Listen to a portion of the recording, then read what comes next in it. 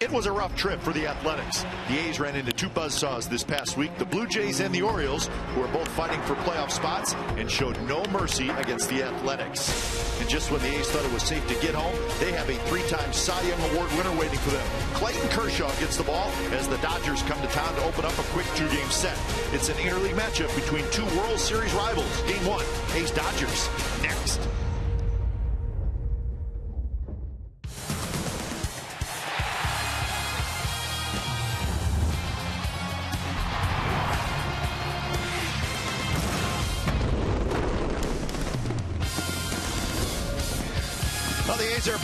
Some Mark McGwire fans in the building. It is Mark McGwire bobblehead night tonight. Of course, McGwire is now the hitting coach for the Dodgers. We got interleague baseball coming up from the Coliseum. Clayton Kershaw and the Dodgers against Felix Doubront and the Athletics. It's the first of a quick two-game series. And of course, you'll see it right here on CSN California. Hi again, everybody, and welcome to Oakland A's baseball. Along with Ray Fosse. I'm Glen Kuiper. So Clayton Kershaw is the man right now. Ray last year MVP and Cy Young in the National League.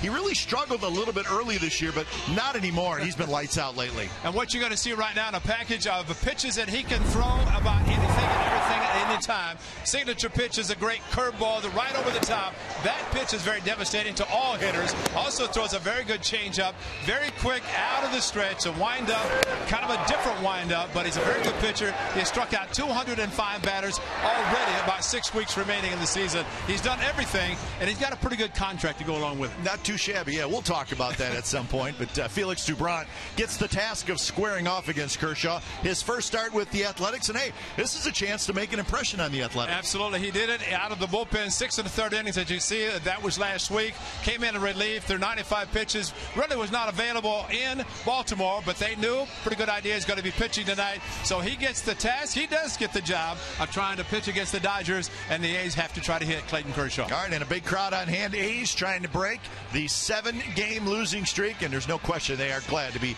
back here at the Coliseum. We'll have lineups and first pitch when we come back. It's interleague baseball, the Oakland A's and the Los Angeles Dodgers.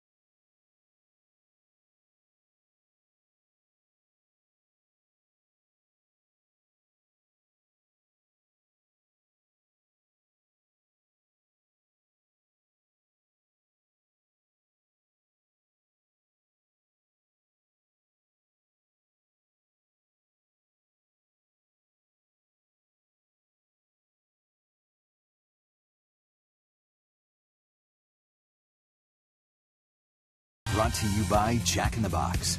For a limited time, try the new Portobello Mushroom Buttery Jack with melted garlic herb butter. And by Toyota, the full line automaker with the longest lasting vehicles in America. Toyota, let's go places. So the A's are back at the Coliseum and glad to be home after a very difficult road trip as they wear the all green tops today. Behind Felix Doubront, their starting pitcher, as they take the field. Doubront getting set for the warm-up tosses and here's our game time weather for tonight. It's presented by the Santa Cruz Beach Boardwalk. Get to the beach. The admission free boardwalk is now daily 71 degrees. The wind is 14 miles per hour so a nice little breeze so it's actually a really a little cooler evening tonight feels good feels great everybody looks forward to this type of weather so let's look at the lineup tonight for the Los Angeles Dodgers. Rollins, Hernandez, Turner, Gonzalez, Van Slyke, Puig, Guerrero, Ellis, and Pederson. Felix Doubront will start his first as a member of the Athletics. He came over to the Athletics. Looks like he was going to go in the rotation, but Aaron Brooks had a couple of good starts. He did relieve him in Toronto. Doubront over uh, Aaron Brooks, and now Doubront in the rotation. He's faced the Dodgers a couple of times. And while he has a win, ERA is not that spectacular. So trying to get the A's on a winning track after losing seven consecutive on the road in Toronto and Baltimore. Defense behind Felix Doubront. It's Fuld, Burns, and Reddick in the outfield. Valencia, Semien, Sogard, Kent on the infield. Phegley is your catcher. So interleague baseball, the A's were at Dodger Stadium not long ago and they split the two games down south and two games here and it's Mark McGwire bobblehead night here at the ballpark and they announced Big Mac and he was touched by the fact that the A's are giving him a bobblehead. Absolutely. So he stepped out he was here for the glory years. Boy, he hit home runs, 363 of them right here. And still the most memorable might have been the one against Randy Johnson at Kingdome. At about 100 mile an hour fastball, Big Mac put a perfect swing on it. And had there not been a roof, it would still have been opening the earth. It was hit that hard. So the first pitch of the ball game, Doubront to Jimmy Rollins is in for a strike. So we're underway. Rollins, Hernandez, and Turner, the first three hitters for the Dodgers. Second pitch is popped up foul territory and right on top of the Dodgers dugout.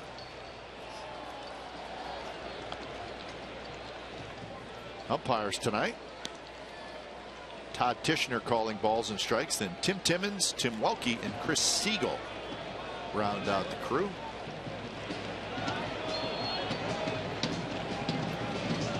Jimmy Rollins, a local product from Winslow High School.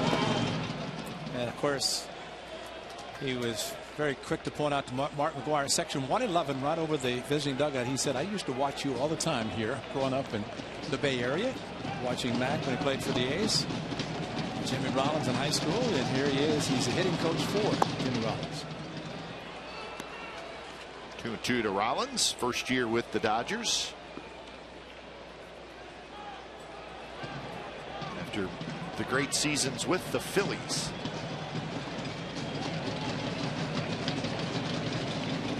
2 2 pitch, just got a piece of it, hit it foul. 36 years old, the MVP in the National League back in 2007, and he helped the Phillies win the World Series in 2008. First time in a long time for the Phillies.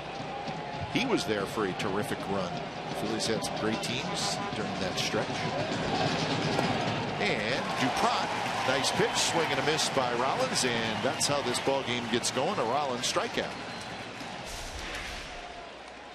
Got a good breaking ball. Doubront will throw both the cutter, change up, as well as the. Well, that's kind of like the cut fastball, acting like a slider. Nice catch by the catcher, Josh Phegley. And I say catch with the palm up.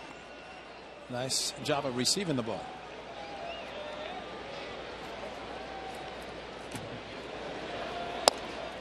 Here's Kike Hernandez who takes the strike. Our Exmo brought to you by Cache Creek Casino Resort. Fastball, cutter, curve, change. So he mixes it around. And the breaking ball, and it's a quick 0 2 to Kike Hernandez, who's playing second base. Howie Kendrick on the disabled list for the Dodgers, so Hernandez getting a chance to play. He's done a good job replacing Kendrick. Looks like he his backswing as a curveball in the dirt. That's right there at the knee. Strike three call. Good pitch by Doubront again. So back-to-back strikeouts to open up the ball game. Well, great fastball inside corner, and Hernandez throws him 0-2, and he didn't think so as he looked back at uh, Todd Tichenor. But hey, anytime an umpire is looking on the inside part of the plate and there's a pitch there, you better not question him because he can see that as well as any pitch.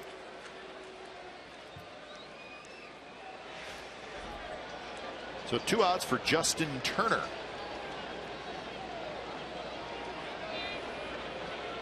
Turner playing third base.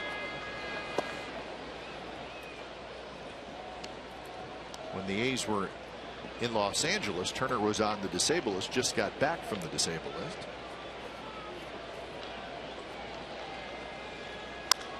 And this one's lifted high in the air to left.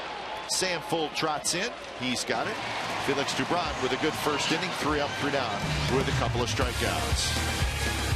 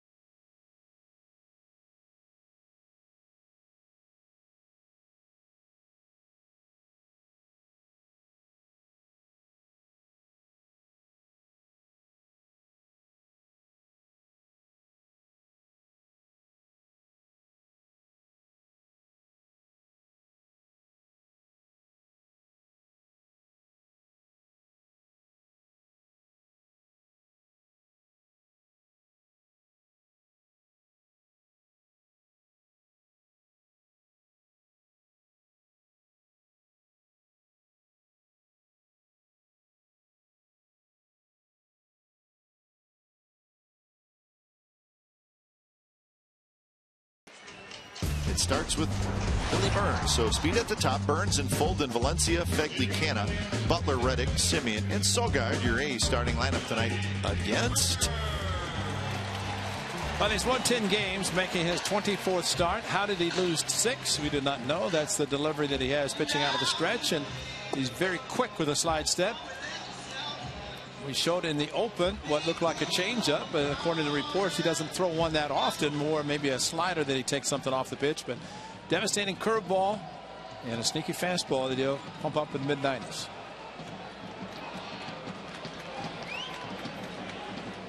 So Burns, the switch hitter, steps in. Kershaw, the big left-hander, stands tall on the mound. First pitch is line to left center field, the base hit. Burns stops at first, and on the first pitch, he greets Clayton Kershaw with the base hit. I guess the scouting reports haven't gone to the National League.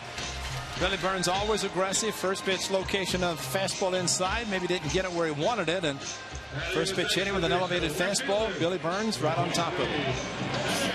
Hey, no shift either. How about that? Straight up all the way around. Still shallow in the outfield. So here's Sam Fuld. Turner, the third baseman, in on the grass.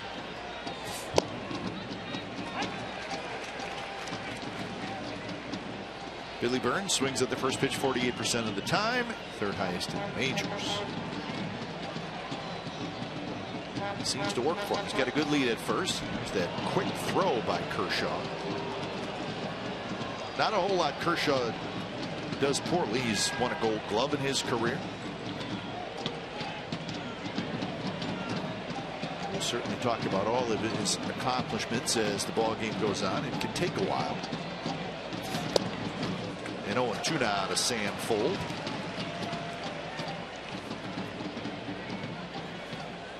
I might be surprised. So Sam Fuld, a true left-handed hitter, he's in the lineup. Josh Reddick as well, and Sogard's three lefties. But if you look back at this, really the lack of success of Clayton Kershaw in the postseason, especially against the Cardinals, they've had a lot of lefties facing him, and they've done well. Well, it's the only, it's really the only ward on his resume. He's one in five with an ERA over five in the postseason but you just have a feeling that that'll get straightened out at some point as well. Sam Fuld hits one high in the air, center field. Pederson a long run, but he's going to get there. He makes the catch, and Billy Burns heads back to first.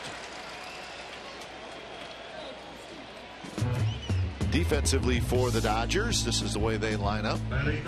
Scott Van Slyke in left, Joc Pederson in center, Yasiel Puig in right, Turner, Rollins, Hernandez, and Adrian Gonzalez with AJ Ellis catching. Todd Mattingly at the helm of the Dodgers, who are in first place. They have a three-game lead over the Giants in the National League West, so those two teams will have an interesting final six months of the season.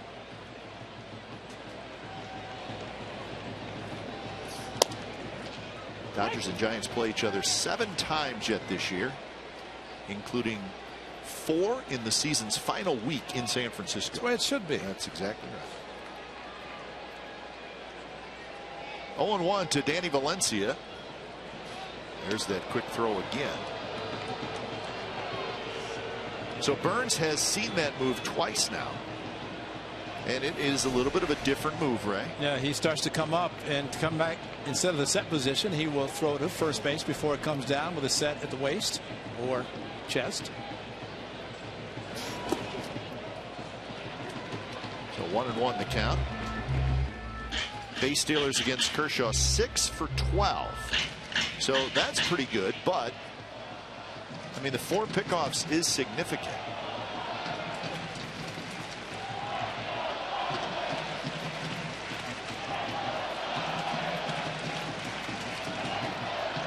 Burns not running, and you saw a slide step there. Valencia swings and misses, so one and two. I think that was the cut fastball and had a sharp little cut action to it out of the strike zone.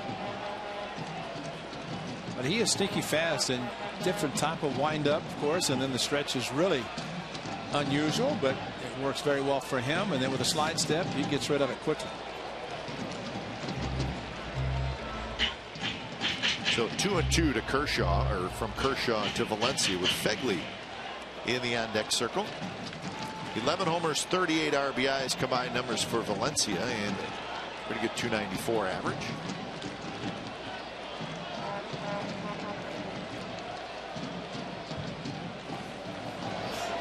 Swing and a miss. Off speed pitch. Valencia chased it. First strikeout for Kershaw. Yeah, this curveball and looked like he started thinking it's going to be something other than that. Look at the rotation and out of the strike zone. So there's the breakdown, Ray. The fastball is very good. Slider, curve, change, and you and I kicked around the slider before we came on the air, and it's a pitch that looks like a splitter. It really breaks down. Right. He's got the big curveball, but then that slider is just a. It may be his best pitch. It just doesn't look. It looks Right. more like a splitter than a slider. Yeah. I think of Sonny Gray's slider that is thrown hard, bites, and did a great job against the Dodgers, striking out several, especially Joc Pederson with a good slider.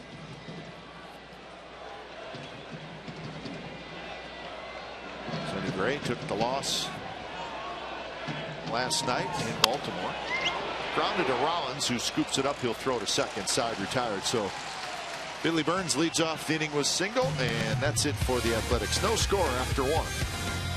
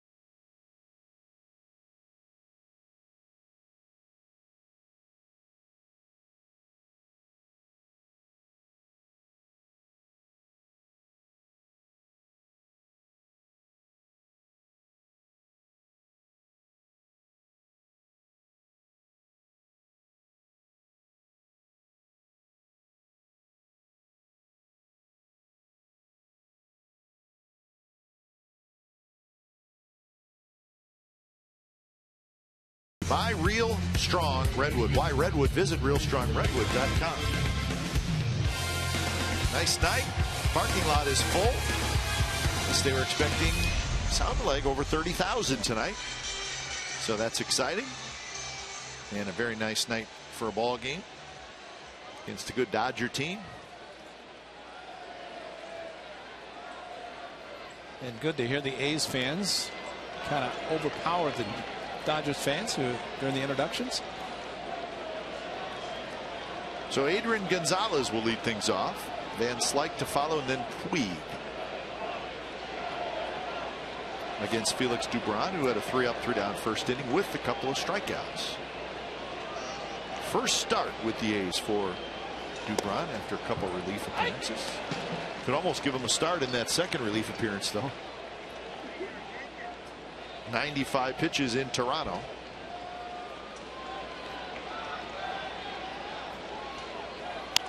Gonzalez fouls it back. So quick 0 2 to the Dodgers slugging first baseman. Everybody will always talk about, especially in the American League. Of course, the Dodgers have Guerrero as their DH tonight.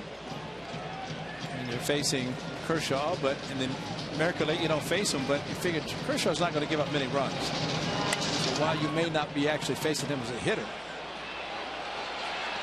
And it falls. Sam Fuld and Semien cannot get together. And somehow the ball falls, and it'll be a single for Gonzalez. Uh, similar on Sunday, it was Coco and Semien. Semien went out, and maybe coming in hard was Sam Fuld, and he usually takes charge, and he started and actually I got it, I got it, and Semien's there, and then that's when near collision happened.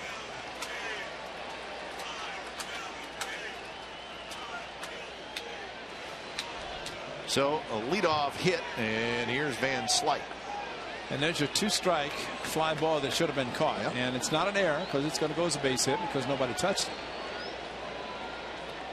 But say often, we'll continue to say it's an infielder's ball until the outfielder calls him off. And Sam Fuld came in. And I, I think with Sam Fuld, his aggressiveness, the way he plays all out, that you can always defer to him. I mean, he's, he's figured he's going to be there. But Semien has to go out until he hears it.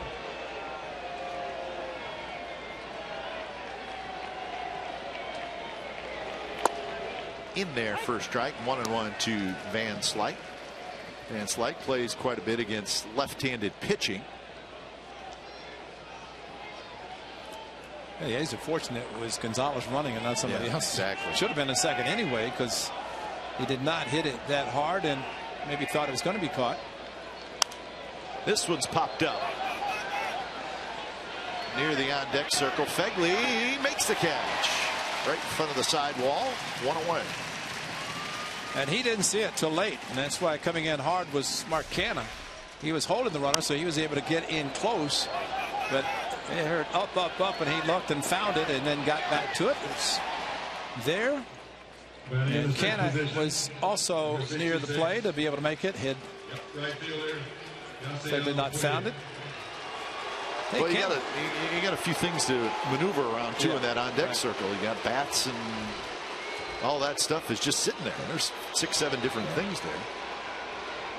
And as long as they're in the on deck circle, they're fine. Yep. It's just whatever they're scattered around, as a couple of the items are there, but that's usually the bat boy's responsibility to make sure all of them there. So here's Puig, 249, 10 homers, 35 RBIs for Dodgers right fielder, Yasiel Puig.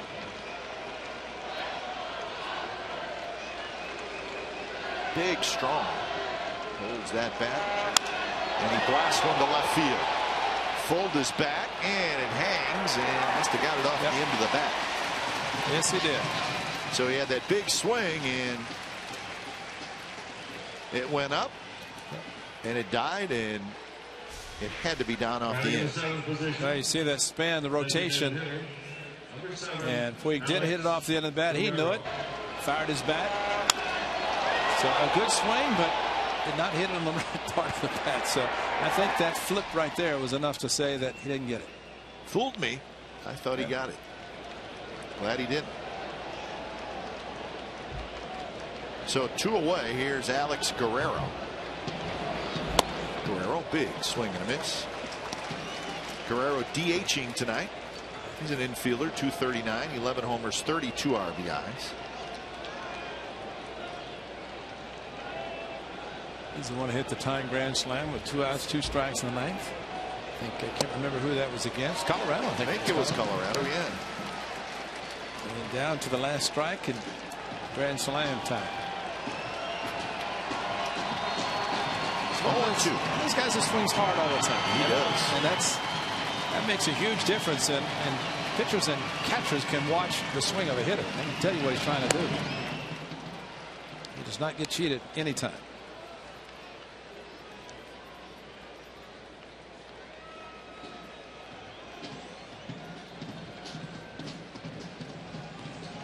Outfield pulled a little bit toward right. Reddick shallow and right.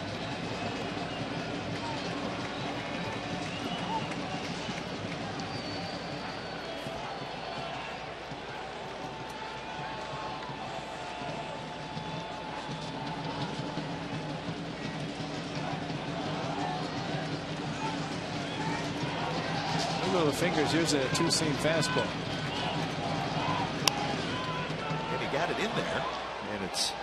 Jammed and fouled back by Guerrero.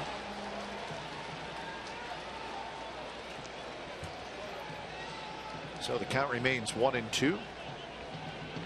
No score here in the second inning.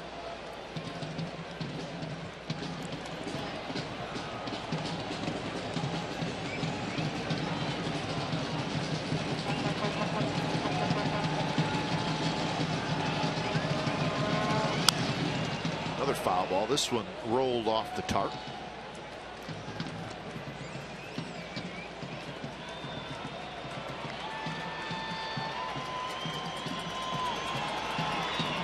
Nice little buzz in the crowd tonight. Yeah, it's got to be pretty special. You have a, a giveaway, Mark McGwire bobble- bobblehead, and you see this kind of a crowd on a Tuesday night. School starting this week, and he's coming off a bad road trip, so this is a good sign. You see him here. No, we saw plenty of big crowds on the road trip. Seven games on the trip, and oh, boy, I think they were all over 35,000, except last night in Baltimore. See, those fans didn't expect a night game on a Monday night either. And neither did we. but we made the best of it. 22,000 of them came out.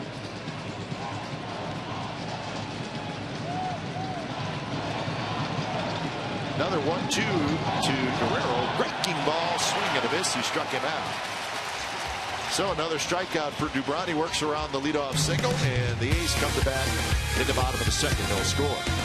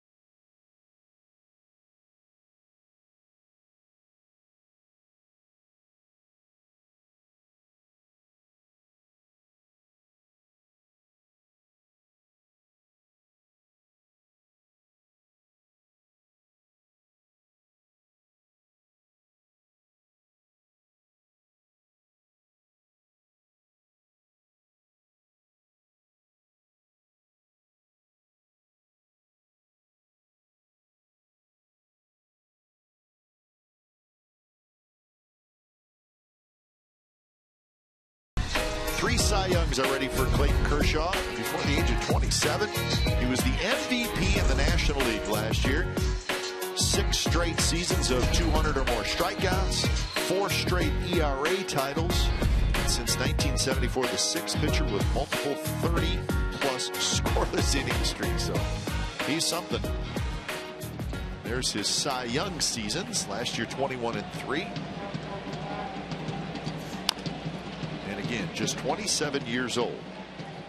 From Dallas, Texas, he was the seventh round or seventh overall pick, excuse me, in the 2006 draft. So he got through six teams, and the Dodgers took him at seven.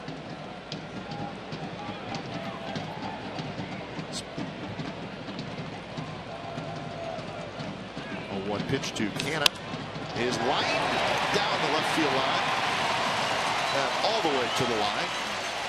Going to get Canha to a single. So the Kershaw resume has a no hitter. That was last year in June. And I remember going home after one of our games and watching the final two innings. And they're just it just could not imagine somebody getting a hit off him. He was so nasty. I, you know, you really can't imagine when he does pitch. Billy Burns canceled the post-game celebration with the first pitch of the game. The wonderful Hawk Harrelson canceled the canceled. Hawk is beautiful when he said it. Yeah, cancel the press conference. Got it, got it hit. But yeah, he was good. 15 strikeouts and well, the other night, there what three pitchers struck out 15, the same Chris Sale. I mean, he's been off the charts. Bumgarner that same day had 14. Well, if it's possible for Kershaw to struggle some, which is kind of funny actually, but he did a little bit early this year, but not lately. In fact, his last six starts, he's 5 0, a 0.75 ERA. See, that stretches it out to nine starts, but there's a couple numbers I want to throw at you, Ray. You'll chuckle. In those six starts, he's thrown 48 innings. He's got three walks and 58 strikeouts. So, yeah, so it's a it's a highlight here at 3 and 0 to Billy, Bur Billy Butler. There it is. That's impressive. That is And he walked it. As for the baseball. Four pitch walk. Cancel the press. Yeah, Hawk. Yeah, Hawk caught some perfect games. Buehrle, of course. Uh, but some, some guys would go a few innings and the Hawk would say, yeah, cancel the press conference. Got to hit. so here's Reddick.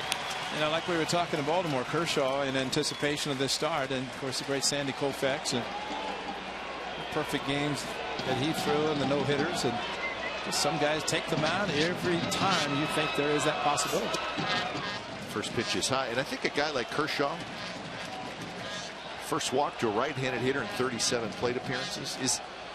I mean, you you know, guys are going to get hits off him, but it's so hard to get two or three right. hits off him in an exactly. inning.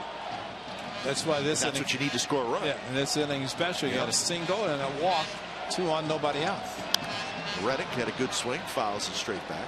I mean, he's just got such great stuff, and stringing together multiple hits against him is very, very difficult to do. Amazing about the the shifts that we have accustomed to seeing with Josh Reddick. Look at this. Talk about straight up the outfield, straight up. Jimmy yeah. Rollins slightly at second base, but he's there because of a possible double play. But this is not what we've been seeing with Josh Reddick. Reddick bunts. Ellis throws to first, so Reddick. Don't know if that was a sacrifice in his mind. He may have been bunting for a hit. I think he was bunting on his own just to advance the runners. Maybe he wanted to take one chance, one shot.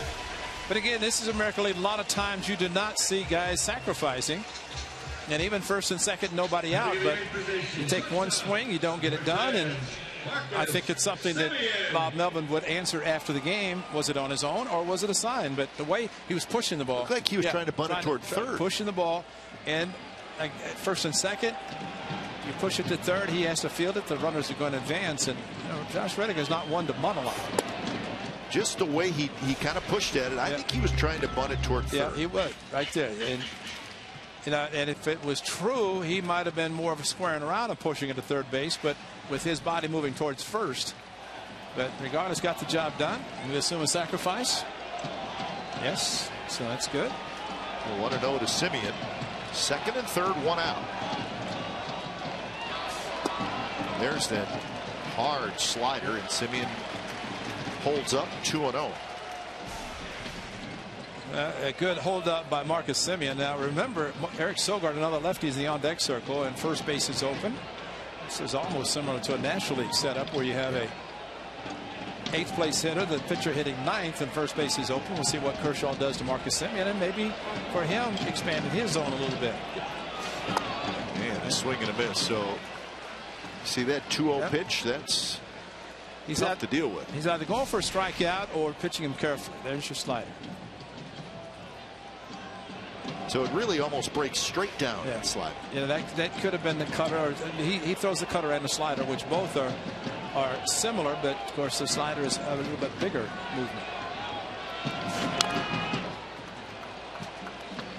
Talking about this slider pitch by Kershaw, how much he uses it and how well it's been. You see the slider usage from 2011 through 2015. That's the top number, and then the opponent's average against that slider this year actually a little higher than other years. So two and two. Semien trying to make contact. And he lays off a good pitch there. That's a great curveball that he laid off, and that's a, a good pitch not to swing at. And, and again, this is where a hitter, in the case of Marcus Semien, has to be thinking, is he going to pitch me carefully? Is he going to try to get me to chase a pitch, try to get a strikeout with first base open, and not be concerned if he does walking. But you have to be aggressive, but also a little bit patient. 3 2. Hit towards second. That'll get a run home. Hernandez picks it up. So good at bat by Semien. He absolutely had to put it in play, and he did. And Cannick comes in to score. And it was like a cutter. It wasn't the true fastball at 87 with the cutting action on it. And he just left it up a little bit too much. And that's a pretty good pitch to stay inside the pitch, which Marcus Semien did. Once he got it past Kershaw, and was going to play the run.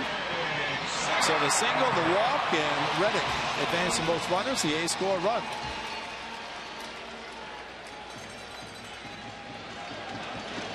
And more importantly, Billy Butler goes to third where he can score. Sogard swings at the high fastball. Get him to third. Yeah, I mean, that's yeah, 90 feet's big for Billy Butler. Yes, it is. Especially with the outfield playing as shallow as they are.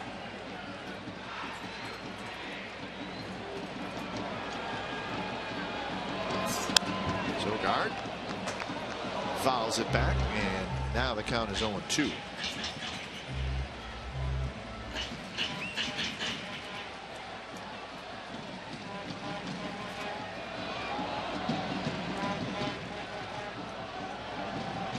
Outfield very shallow. Big curve, tap to Kershaw behind his back. What a play. That might have been a base hit. That may have been a base hit, and Kershaw made a sensational play. Wow. May have cost the A's a run. Heck of a play. A's get one. It's 1 nothing after two.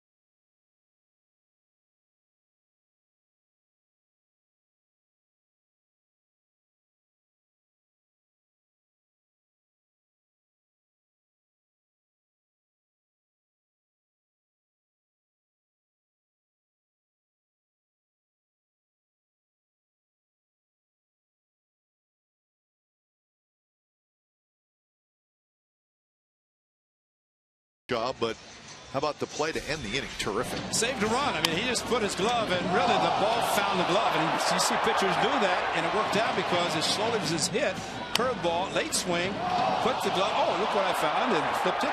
Gets the out. I don't think the ball would have went through, but No. I think it would have been a tough play for the second Right. baseman to throw out Sogard. Exactly. I mean, they make all kinds of highlight reels, and what a great play. But it's just throw your glove, Yeah, and it's you're taking a chance. you're taking a chance. You hope the ball finds your glove, and it did. AJ Ellis to lead it off. Ellis, Pederson, and Rollins, 8, 9, and 1 for the Dodgers. Dodgers record is 67 and 51. It's the fourth best record in the National League. And they have won five out of six. So start of a road trip for them. They were off yesterday, and they will be off on Thursday. Two here in Oakland and three in Houston and three in Cincinnati.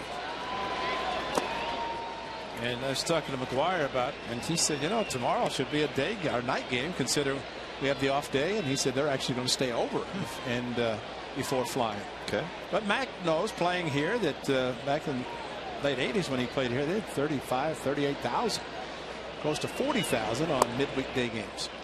And a leadoff walk to Ellis. Fans follow the Athletics all season in 2015 with MLB.com at bat, the number one app for live baseball. At bat is up to the moment at any moment with in-game highlights, live look-ins, replay reviews, radio broadcast, statcast, and more. Get MLB.com at bat for your smartphone or your tablet. Four pitch walk is not what you want when you're fortunate to get a run off the great lefty. Uh, I just don't think the A's they, they can't make any mistakes tonight. No. Well, they did, unfortunately. yeah. And you know, Doubront did. I was going to make that point, which I'm glad you brought it up, because when the miscommunication occurred in left field, that's what you do as a pitcher. It wasn't an error, but you get a base runner on. And Doubront got a couple of fly ball outs, one foul, one to left, and struck out uh, Guerrero and did his job. Last night there was an error and ended up being a single to three run home run following that. But you like pitchers who say, okay, made a mistake, I'll take care of it.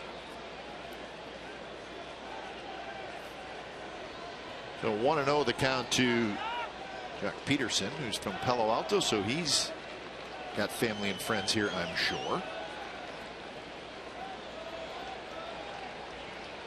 Had a terrific first half for the Dodgers, but has really struggled in the second half.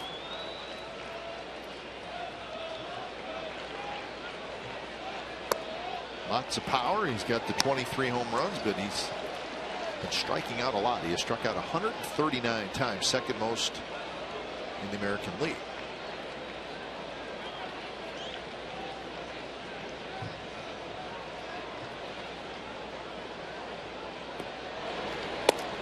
And it's high, and now it's 3 0. So seven straight out of the strike zone by Doubront. And lefty on lefty, you're always concerned. Well, Don Mattingly say to the lefty, you're going to get a fastball. It's just a question, is it in your zone? And get you to give the green light. Although it would be eight consecutive, maybe out of the strike zone. You don't want to get a pitch, get an over aggressive hitter and make a, a bad pass at it. No chance there. Well, the Dodgers got something going. There's the home run leaders and the strikeout leaders. I think what stands out on the home run leaders, and that's in the National League, but I think it's across baseball as well. Look at all the young players. Yeah. I mean, they're all relatively young players. Except Adrian Gonzalez, he's a veteran. Strikeout leaders, Chris Davis on top. That's in the major league. Pederson. He'll figure it all out, and I think he'll be a very good player. Two on, nobody out. Rollins steps in. And that one's low. Throw was past Phegley, but he quickly gets to it. Yeah, the corners are playing in for a bunt. I, I don't know until he throws a strike that would even consider doing anything. And, and I don't know the Rollins is even going to bunt anyway. But right now, he's not close to the strike zone. And best part of there, if runner Ellison tried to go to third, Phegley could have thrown him out.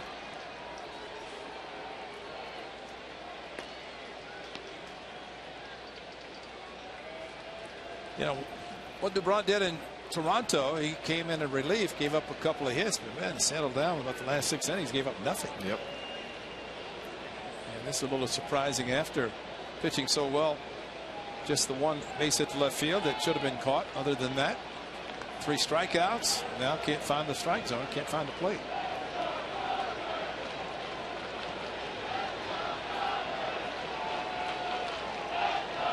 Rollins struck out in the first inning. Two walks, three strikeouts for Doubront. But trouble here in the third.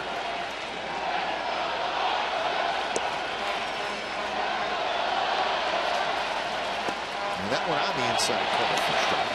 So maybe that'll relax him a little bit.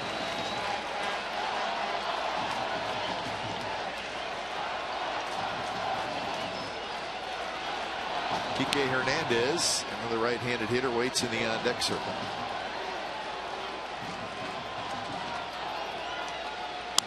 There's a shot foul. Ron Roenicke Yeah. is the new third base coach for the Dodgers, just hired a couple days ago. Former manager of the Brewers, relieved of his duties, and Sunday the change was made. Actually, yesterday he was hired, and Max said uh, coaches are told on Sunday the change was going to be made. Popped up, could be playable. Canha. He's got it. He's got to check the runner, and he gets it in quickly. So a big out as Doubront bounces back. And now he'll face Kike Hernandez.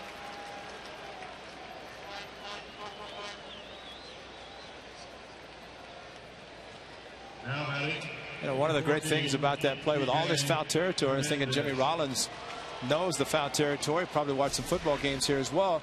But the key here, there's always a concern about the runner from second taking off. Look at the cutoff man is, is Canha throws the ball back in, cutoff man, Marcus Semien. Shortstop runs in to be the cutoff man. And that way you don't have to make the throw all the way to third base and take the chance of making an errant throw.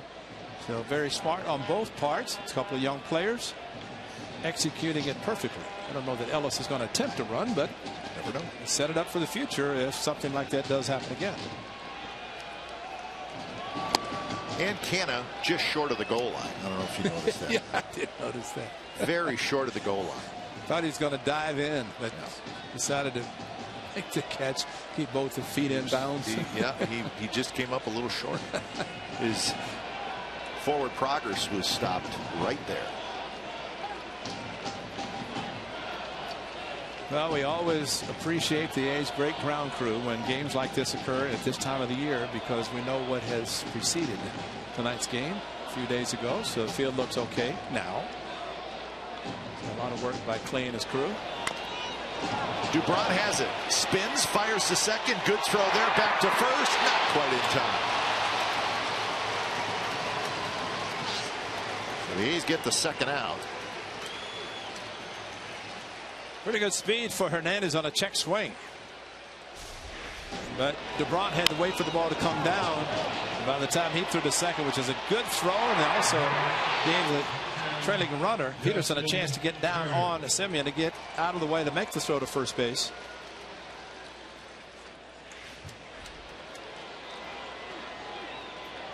Good, so good throw by Doubront to second yeah. to get the lead runner, and that's that's the key. That is the key because you're always in question of whether that throw is going to be good because that's the play to make, and you get the lead runner, keep force and order, but also take one of the runners out of scoring position.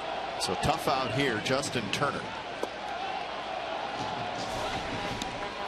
Doubront let the ball come down and then perfectly to Semien. He knew who was going to be covering. Semien was there, just couldn't turn the double play. That's your PFP, and they do it all the time, and that's when it pays off and you make a good throw to second. You know, I think it helped him too that he was actually on the grass, so he's throwing on flat ground. Good point. If you stay on the mound, you're throwing sideways, uphill, uphill sideways, yeah. downhill. Who knows?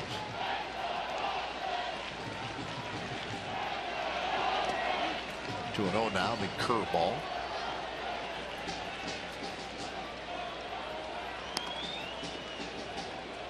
He's with a one to nothing lead against Kershaw and the Dodgers. Ellis at third. Hernandez at first.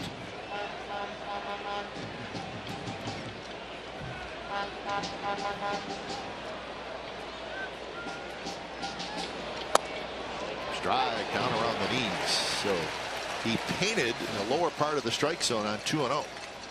One thing's pretty consistent about the Dodgers hitters, and you see the leg kick and the load where they're lifting the front leg and and they're getting ready to swing at almost anything that's close to the strike zone. See Turner lift the leg and that's going to go back and he's ready. It's a high fly ball right field but Reddick's there.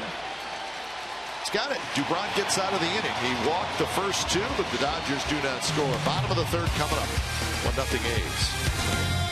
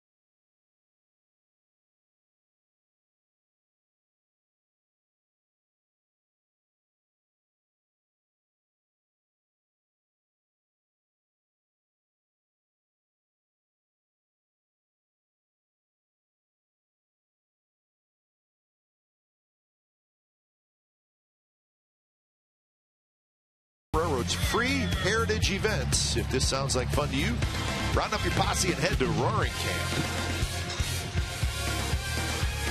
Big question here. What does Clayton Kershaw throw Billy Burns first pitch? That's a good call.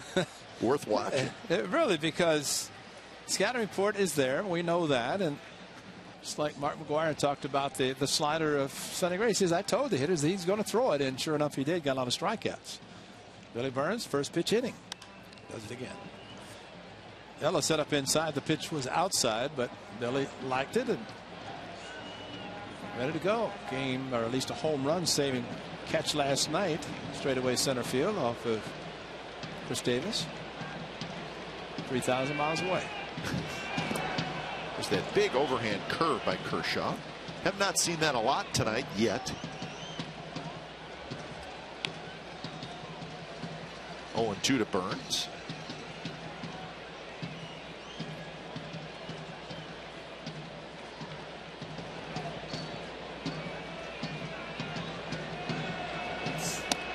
Fastball just a little up and away. Fuld to follow, and then Valencia here in the bottom of the third.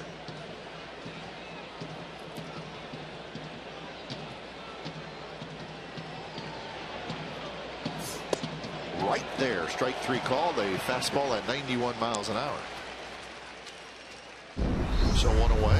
Interesting last night, Sam Fuld was called out and then thrown out. And Bob Melvin ended up getting thrown out. Ray, we think that Brian Knight made the wrong call. Yes. Because you get to create your own That's right. path from Yep.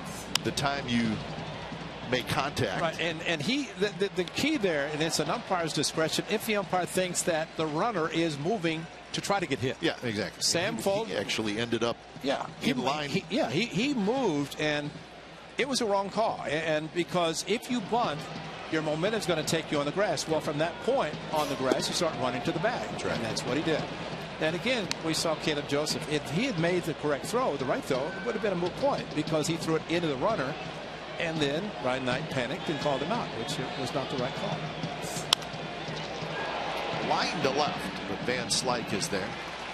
So that is the second out here in the third, and that play gets us to our Geico quote of the game.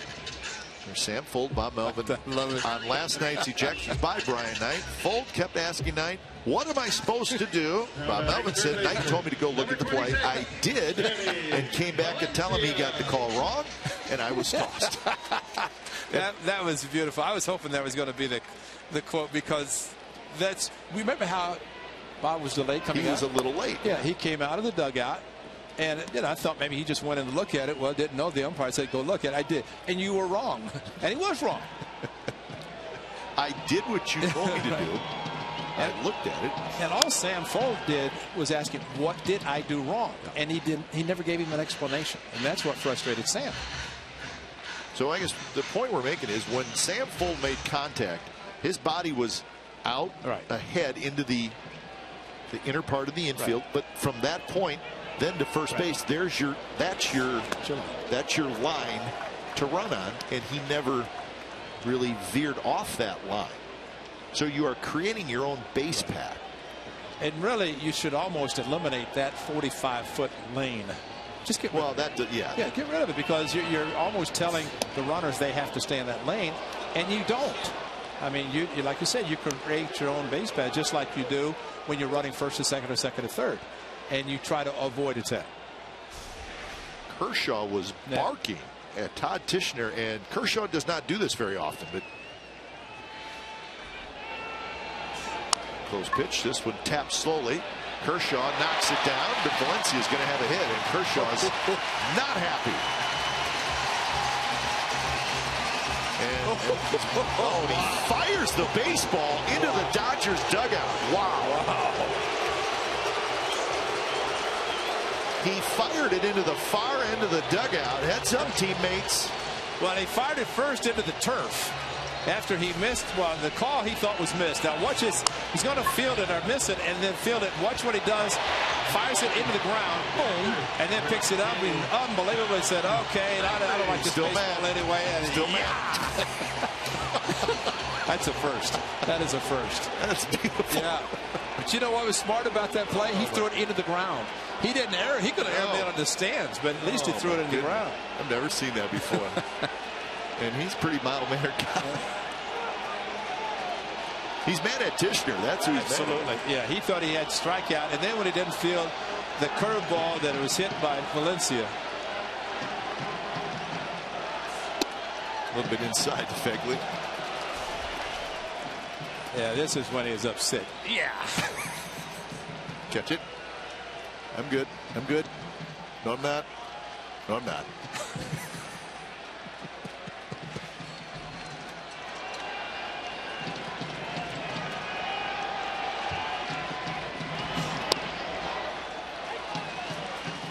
Well, my guess, though, we may want to, we may not want to tick him off. Uh, I know.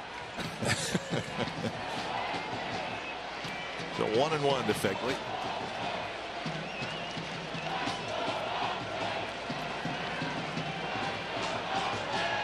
Hit by Valencia, the third for the A's.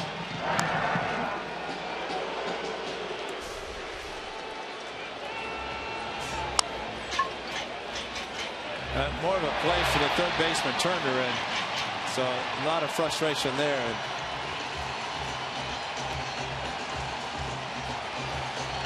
I wonder if there was time called on that before he fired the ball in the dugout.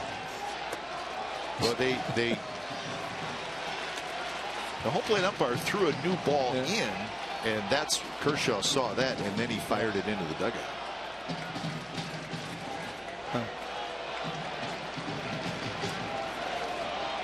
Two and one to Phegley.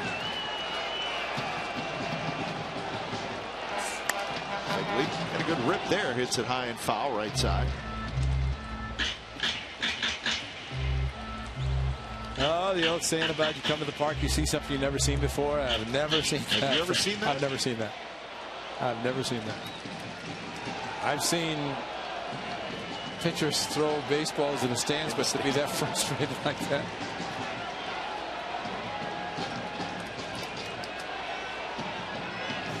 Two-two pitch, good one there, and Phegley swings and misses, so a hit, a little comedy, and we're through three innings, and the A's one nothing lead.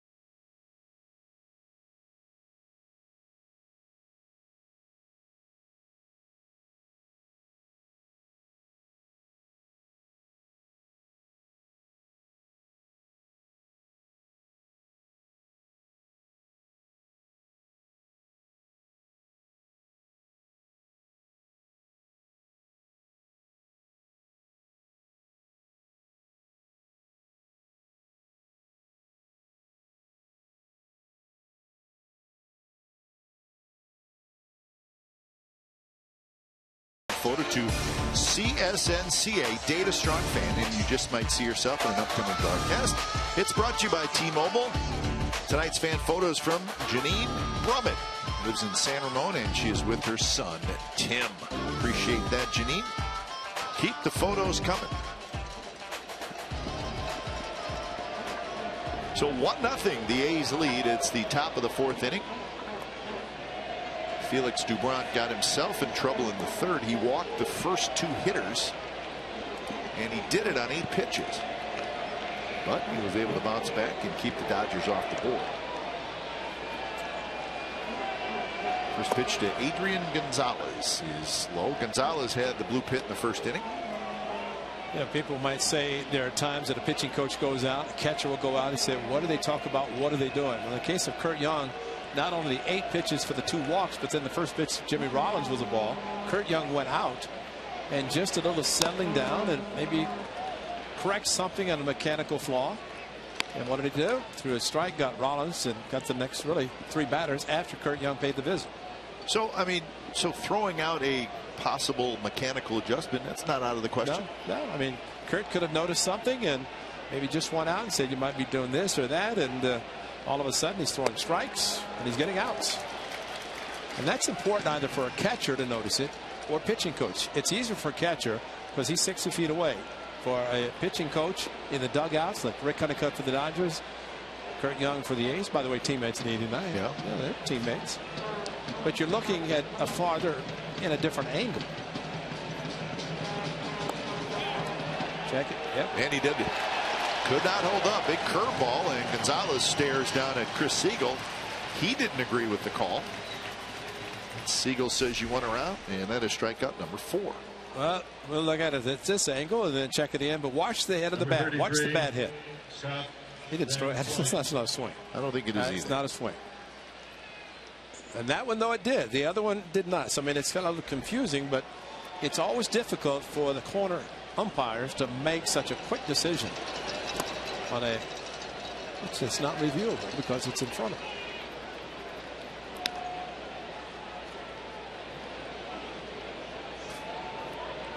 One to oh know to Scott Van Slyke, who fouled out to Phegley in the second inning. breaking ball stays high.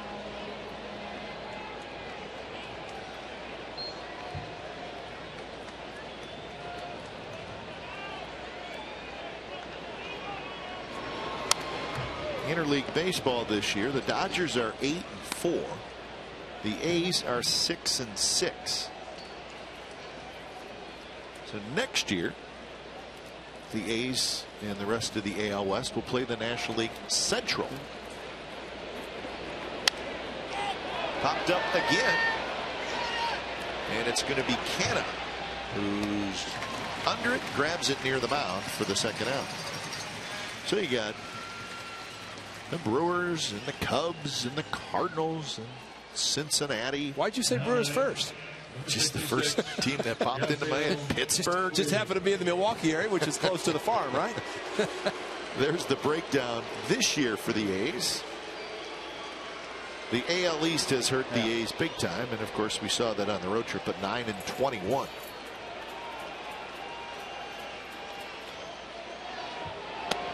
Curveball to Puig is high. Actually, it's pretty nice going to uh, Miller Park in Milwaukee and see the great Bob Uecker and see how he runs that whole place. Good summertime place. Yeah. You may not want to go there in January. Yeah. Let's close the roof. It's true. A little bit inside 2 0 to Puig, who hit a fly ball to left field in the second inning. So there you have Cespedes and Puig both in the National League. Mets and the Dodgers. Mets for uh, Cespedes, and they're in Baltimore. Bob Geren said uh, yesterday when this, how's Cespedes doing? He said, well, he's in Miami. I went to Miami for the off day. He said, I'll spend the off day in Miami down with the family instead of going to Baltimore. How much fun would it be just to follow Yoenis Cespedes around in yeah, Miami for a day? That. You know, Puig and Cespedes, a, a lot of similarities yeah. to their game, except Cespedes a little more refined. Right.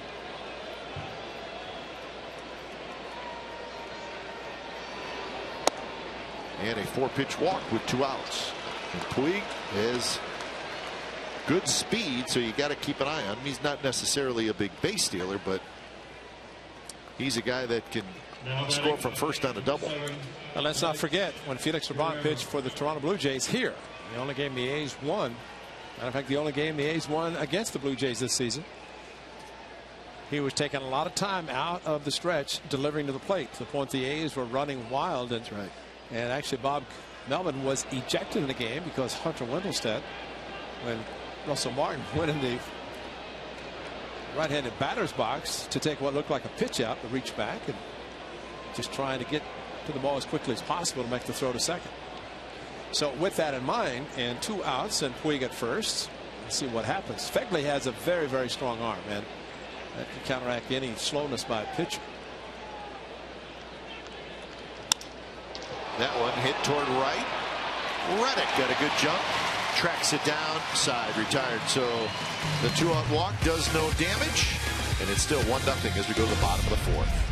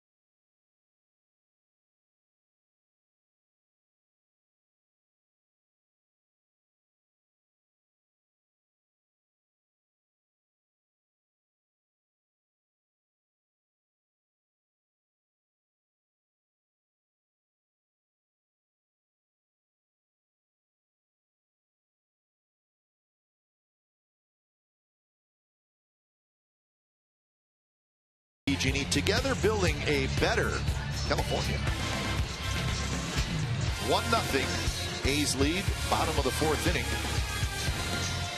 I think the wind is picked up here. It's just came in a booth. Maybe just a, I mean, a hurricane in the booth. my something. scorecard was pinned against the window over there next to Marty, our camera. No, I'm just joking. It has gotten a little breezy here in the last. It feels great. It's nice. Nice temperatures. I don't recall feeling this breeze in Baltimore. No. Speaking of Baltimore, I remembered uh, talking about frustrating pitchers.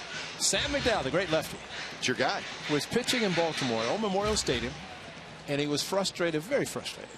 He threw a baseball, and Sam had a strong arm, but he threw it the upper deck at Old Memorial Stadium, and he was ejected. He got fined. The umpire actually counted the number of rows in which he threw the baseball and fined him an amount per row. Wow. And that was how. That's tough. Yeah, but to think that the umpire knew exactly where it landed and went out and counted the rows. So why did he throw it? oh, Sam was just. I mean, was it a ball strike thing? Yeah, I think it was. And, you know, Sam. Uh oh. Uh oh. Uh oh. AJ Ellis just bumped into Yeah. Todd Tichenor. Well, Tichenor, Kershaw, uh, Kershaw did something,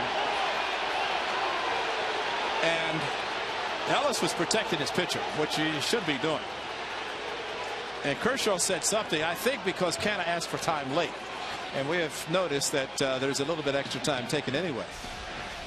But Well, let's see what happened here. Canha's taking Yeah. time, which he does. Kershaw's ready, and he's ready to go. So, Yeah, you know what? Canna didn't ask for time. The home plate umpire just called time. And you know what, Cap? I was thinking because what Ellis had done, he'd called the sign. He had already called the sign. It's something.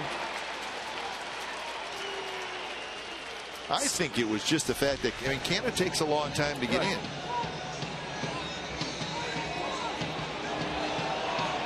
Jamie Moyer and Ruiz with the Phillies. Remember they came in here and Jamie Moyer would actually have Ruiz give a sign while the hitter was getting ready.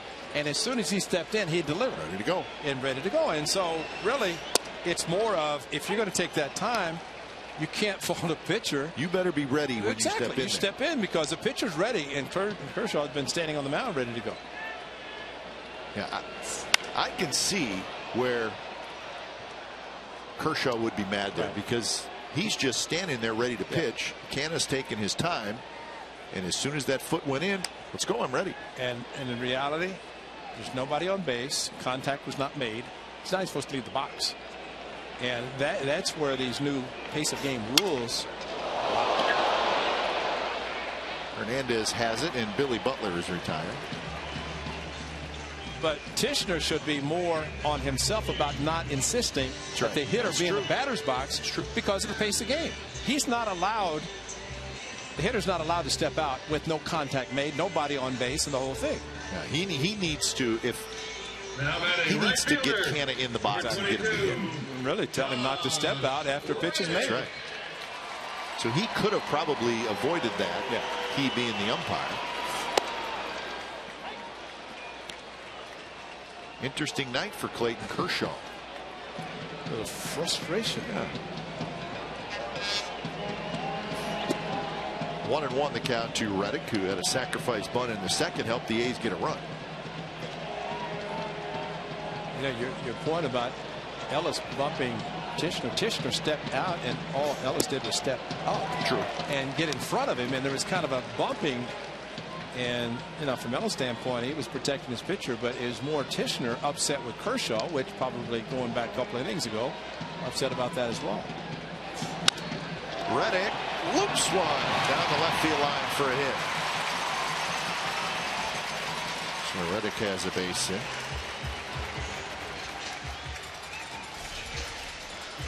Uh, here's the pitch to Canha and a curveball and called a strike. Got back and see Canha taking his time. See, he needs to get in there. Yeah.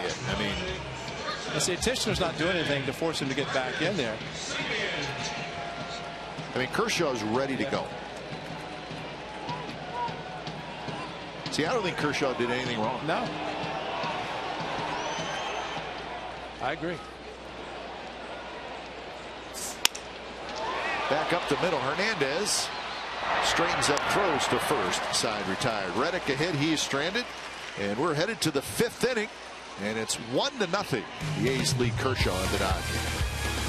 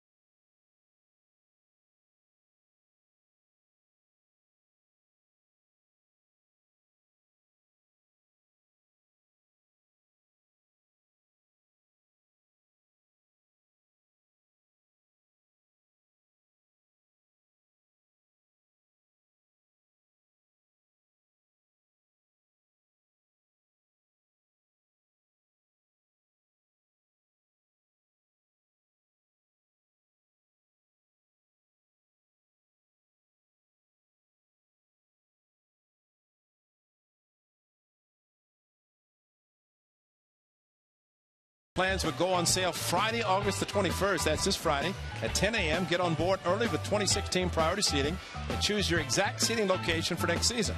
A's offer a variety of full and partial season plans that qualify for great benefits, including half price parking, a flexible ticket exchange program, and much, much more. For more information, call 510-638-GO-A's or visit athletics.com slash 2016 2016. And tell you, got a lot to look forward to in the future of this ball club and a lot of young players learning how to play this great game. And we'll see how much that benefits them going in to the new season and forward. Ellis, Pederson, and Rollins for the Dodgers. Top of the fifth inning.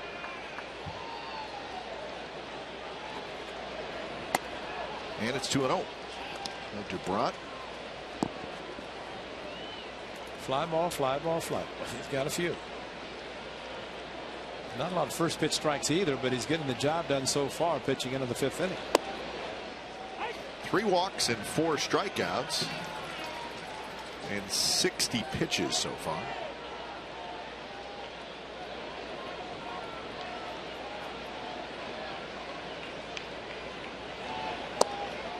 Strike on the outside corner. So now it's two and two. It's a location fastball inside. And how many times have we seen where a catcher moves the way Phegley did and it's not called a strike even though it was a strike. Coming inside. And it just missed. Doubront thought maybe it was a strike. He hit the target.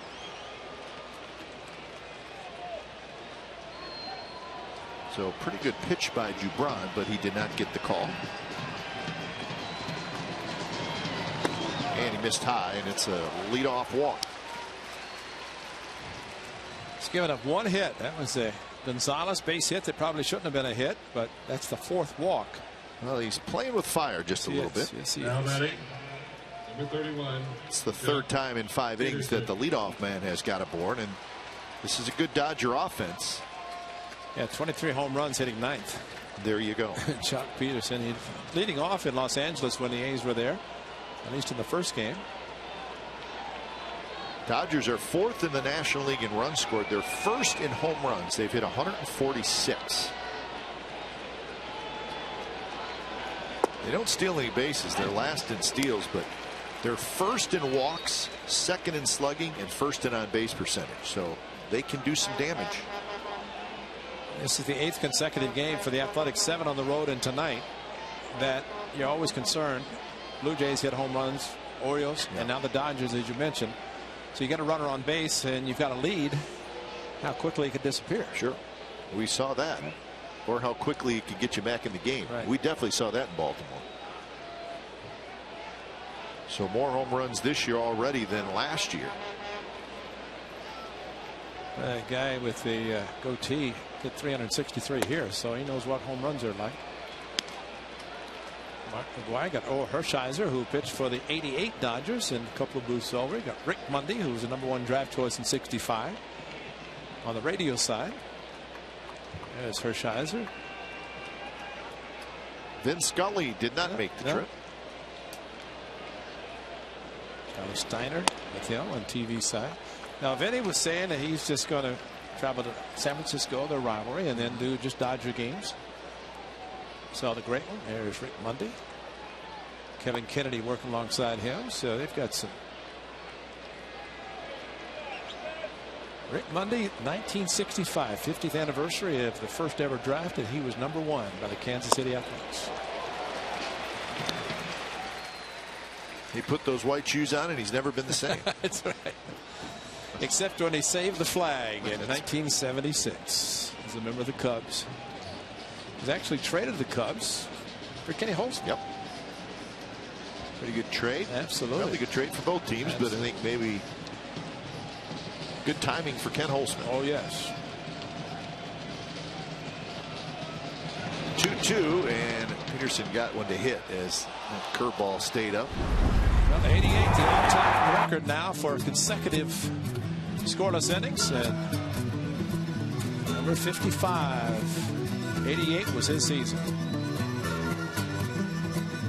Looks like. San Diego. So I think it's right here for the uh, final game of the World Series in 88.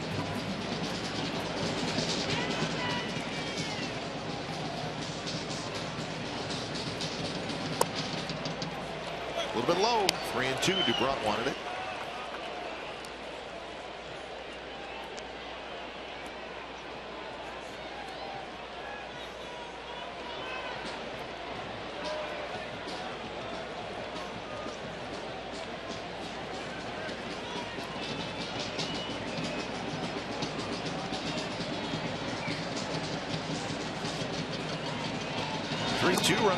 Runner goes. Pitch is low. Trouble again for Doubront. Well, that would have been great to be a strike him out because Phegley was ready to throw and he would have thrown him out. Did not get a chance with the aggressive Pederson swinging at a pitch too much in the in the uh, lower part out of the strike zone in the dirt.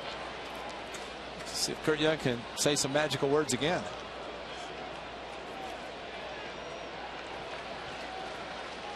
Well, the magical words worked in the third, and he's got the exact same situation here in the fifth. So Curt's going to have to come up with something again. So let's already go, put one ball count to Rollins because he's waited after nine pitches. This time, at least he threw strikes to the two batters, Ellis and Pederson. He did not do that in the third inning.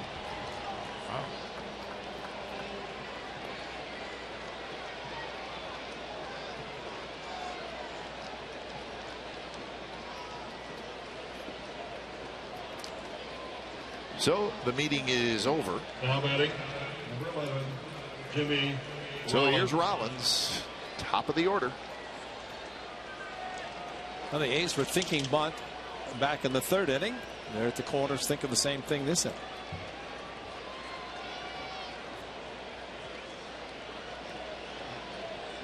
Kike Hernandez is the on deck hitter.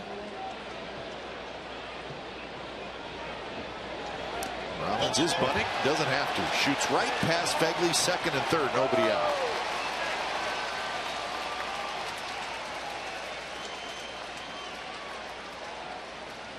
That looked like a strike, and it's going to be a passed ball.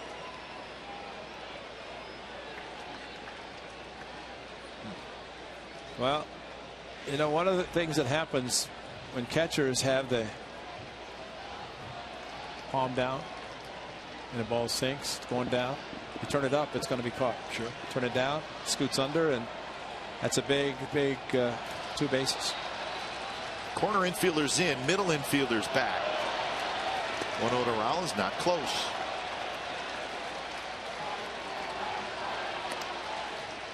So now it's 2 0. Uh, definitely made up for it with this one because this is a great scoop. Really no chance to get his body in front of him, so he had to reach out like an infielder.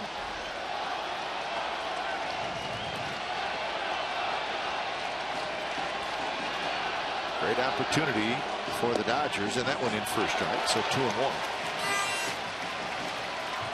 73 pitches for Doubront, but five walks, and two of those walks on base here in the fifth inning.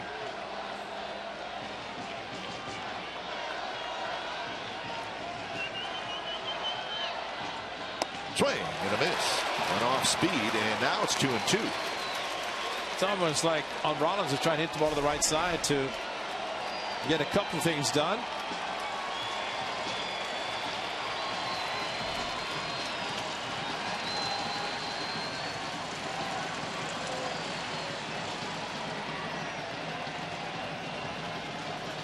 Two-two pitch, bounce to the right side. It's going to get a run home. So a very productive out for Rollins, and again, it looked like he was trying to do that. So Ellis scores, Pederson to third, and we got a 1-1 game. That's exactly, and that's a great job because he did it, swung and missed one, came back with the same pitch outside. This time Rollins did it perfectly. And that's that's just great teamwork, team play. Now the infield has to come in. But the walks, yep. this one scores. The previous three had not, and trying to avoid this one. Uh, it's on third now from scoring. First pitch to Kike Hernandez at the knees, first strike. So two walks and the pass ball. You have to think if Rollins had successfully bunted second and third one out, would the infield have come in as they are right now? So Doubront ahead this time. It's 0 2. Pitching for the strikeout or a pop up.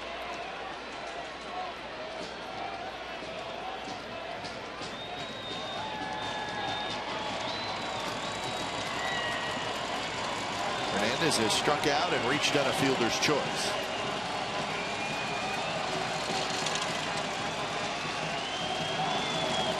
In the dirt, swing and a miss. Phegley fires it to first and a huge strikeout for Doubront. You know, after having a pass ball called against Phegley, he put his glove on the ground. He wanted Doubront to throw the curveball in the dirt. His glove is down there. He did. He blocked it perfectly. Got the swing and miss. Kept the runner at third. And Mark Canha, first base, was standing off the bag. And that's what you also want to see with a runner running down the line. Get inside, give a good target. And Canha stepped inside, caught the ball, tagged the bag. All things working well. So one more tough out to get. It's Justin Turner who has hit a fly ball to right field and a fly ball to left field. First pitch just a bit outside.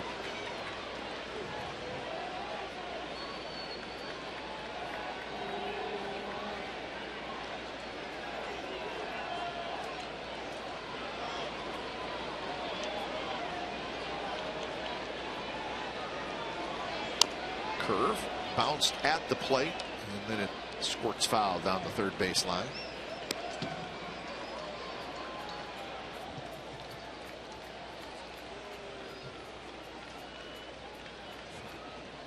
Doubront trying to limit the damage to just this one run. 23 pitches here in the fifth.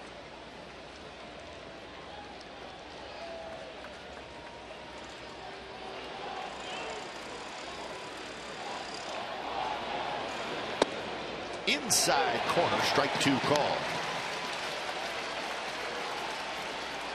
Well, you get that strike called on the inside corner, it opens up a lot of different things. Uh, the high leg kick, and then by the time he got the foot down, the fastball was on the inside corner.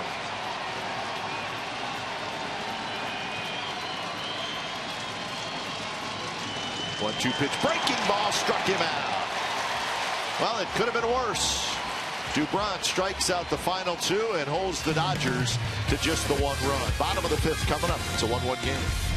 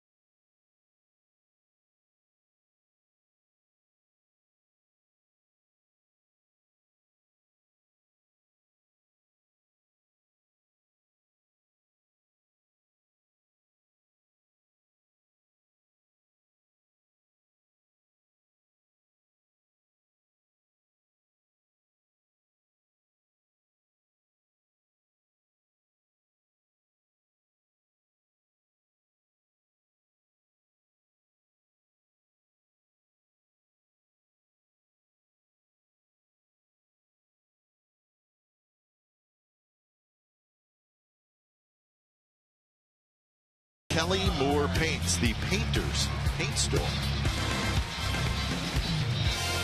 Good ball game, 1-1, A's and the Dodgers here in the bottom of the fifth inning. As Sogard will lead it off against Kershaw. Kershaw has walked one. He has struck out four. As he faces Sogard. First pitch, Anthony's first strike. That was pitch number 58 for Kershaw.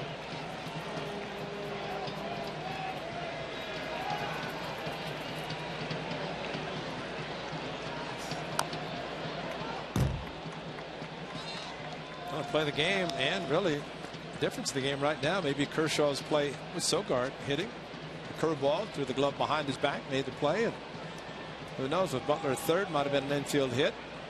We'll never know because Kershaw made a great play. Two high fastball, 92 miles an hour. When Kershaw first came up, he was throwing 95, 96. Doesn't do that anymore. He's got three pitches he can strike out with now. And that one drops in on the outside corner. Sogard is called out on strike. Kershaw made a start here at the Coliseum back in 2012. He was very good, but the game ended well for the Athletics. Remember this one, Ray? Yes, I do. Yeah, he had a lot of pitches working well. Signs the beard. That was June 21st of 2012. On the ground by Burns. Rollins scoops it up. So two outs. This is how that start by Kershaw ended on a beautiful day here at the Coliseum. Was it a swung on? Gone. That's how quickly it went. Josh Lindblom, the lead pitcher, and Yoenis Cespedes, his first walk-off.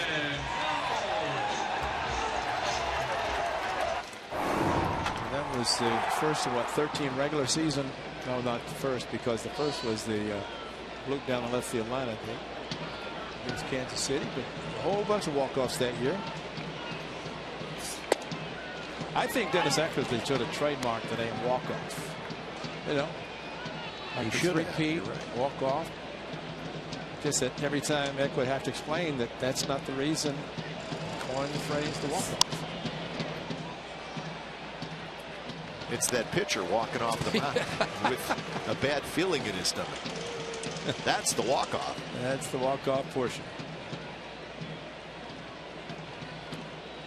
Couple of fly ball outs for Sam Fuld, one to center, one to left.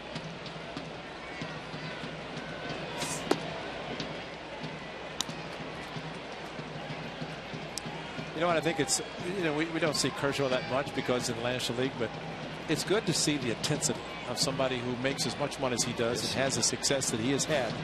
And he is as intense as there is, as we have seen tonight, demonstrated by his uh, frustration.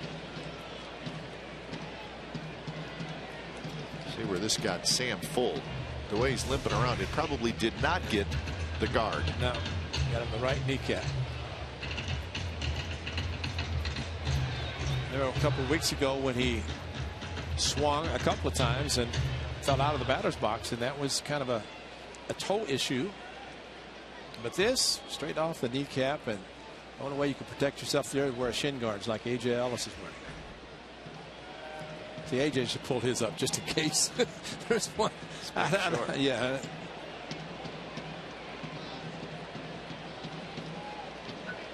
So one and two to Fuld.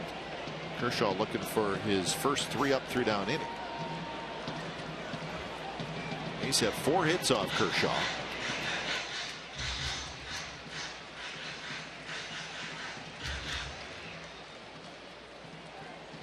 But you're right. He is. He does not mess around. No.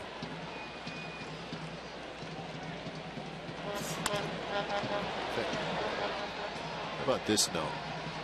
Lowest to career ERA in the modern era, and that's since 1920. Again, career ERA. Clayton Kershaw is first. The knuckleballer, Wilhelm, the chairman of the board, Whitey Ford the Yankees, of course, the great one, Sandy Koufax. Gonzalez has it. He'll take it himself. Just beats Fuld side retired. So Kershaw does get his first three up, three down inning, and we're moving to the sixth. We got a 1 1 ball game.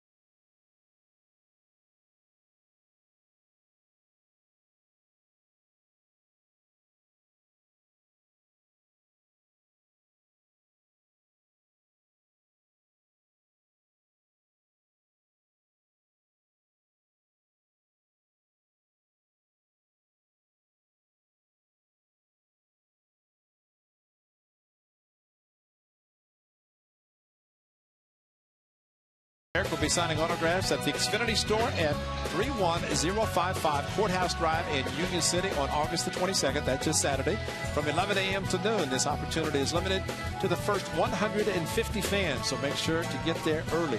150 fans, that means you get to have a conversation instead of just go, go. You know, sign and go. Got a visit with Sogi. Talk about those socks. Talk about getting intentionally walked by Buck Showalter. A lot of things to talk to Sogi about. Adrian Gonzalez leading things off. First pitch is high to Gonzalez.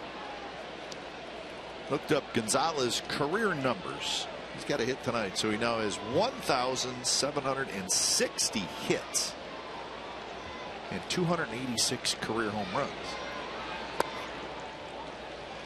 But he will play for a while. He's got plenty of time left.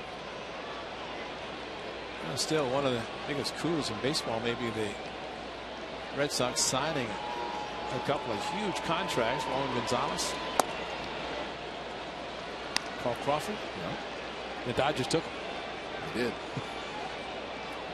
The Dodgers wanted Gonzalez, but they had to take Crawford to get both to get Gonzalez. Sounds like that happened when we were in Los Angeles, right? When all the trades were taking place. Oh, you want this guy? Well, you have to take this guy. Dodgers started the season paying $39 million to players they didn't even have.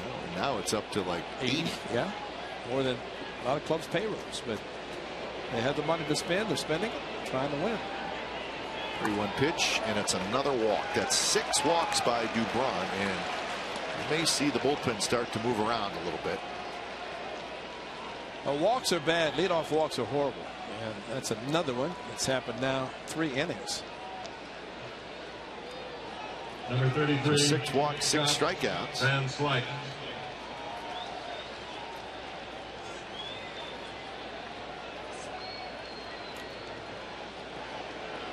So Van Slyke steps up, a foul out to the catcher and a pop out to first. Was after the first pitch. Fouls it straight back to the screen.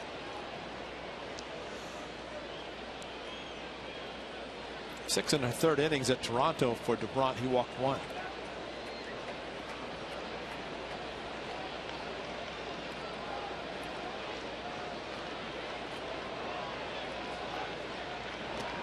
And Gonzalez has a very short lead.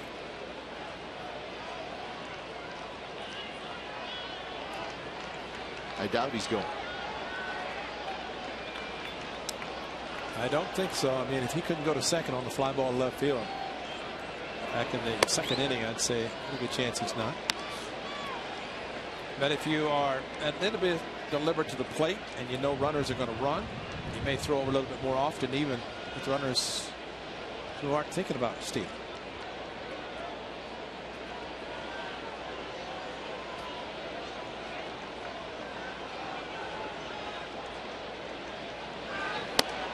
High again, and now it's two and one.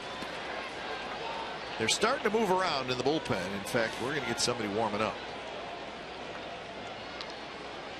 It's like Venditte. Jerseys are coming off. And the righty lefty, Venditte gets up.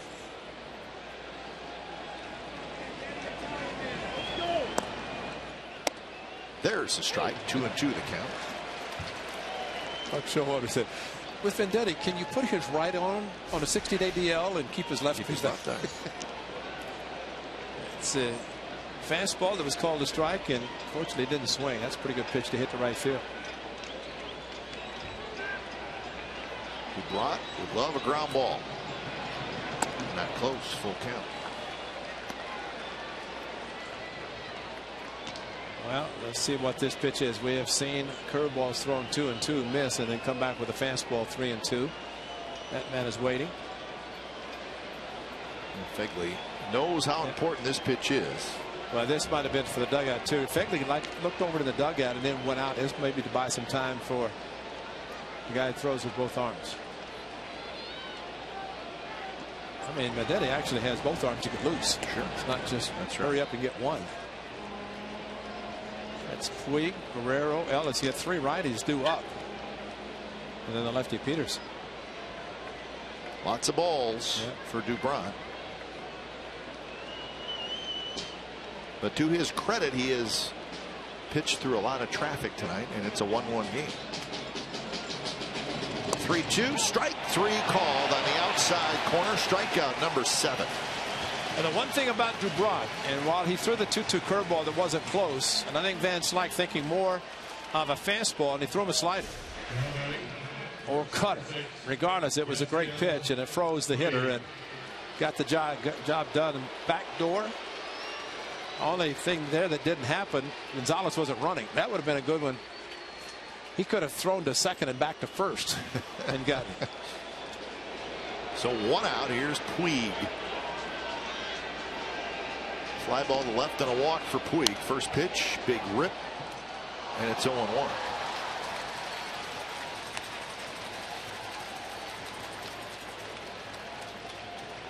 Puig with 10 home runs, 35 runs batted in. And the batting average at 248. It's been a little bit of a struggle for Puig this year.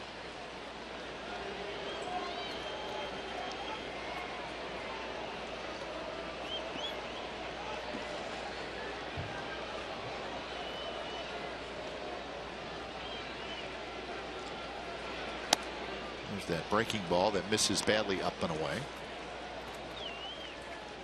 It's his third season in the big leagues.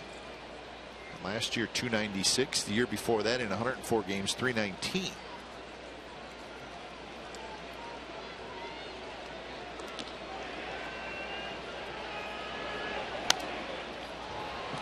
He did homer against the A's down at Dodger Stadium, and it was a big home run. Jesse Chavez hung him a cut fastball. Chavez will be on the mound tomorrow. You're right, Larry. That was the Yasiel Puig bobblehead. Mother threw out the first pitch. They announced play ball, and he hit a home run.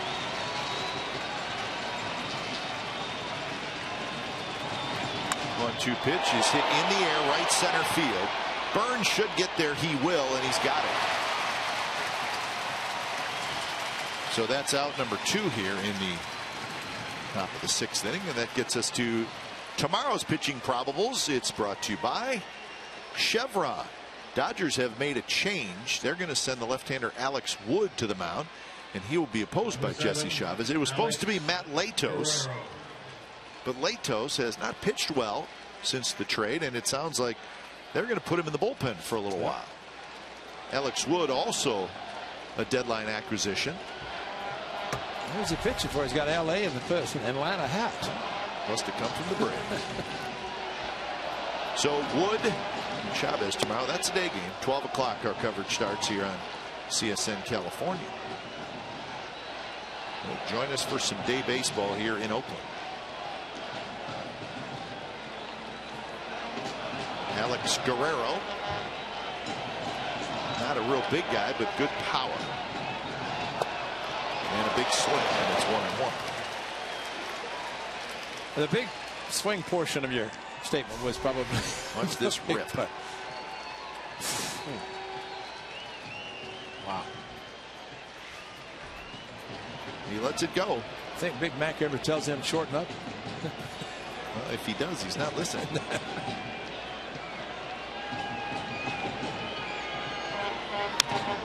this one looped into foul territory and into the seats. And Doubront gets ahead one and two. Right at 100 pitches for Felix Doubront. Trying to get through the sixth inning and keep it a 1 1 game.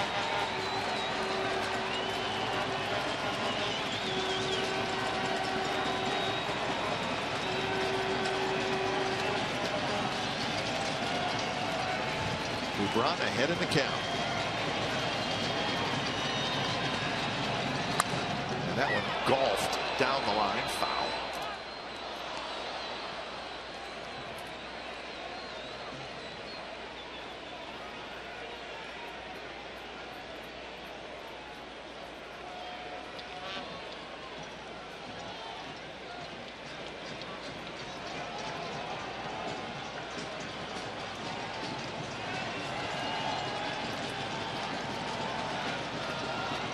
Short lead Gonzalez and the kick and the pitch a breaking ball and this time Guerrero was able to lay off. Venditte should be pretty close to being loose. Right now warming up with the left hand. Gives the nod, so he's good to go. Which arm? I think he already nodded good for the right arm, and he just did it with the left arm. And now we got a full count. And he might have Ellis because the pitch count might be getting to Doubront, and that's the fact that he's having difficulty throwing strikes, at least this part of the batting order.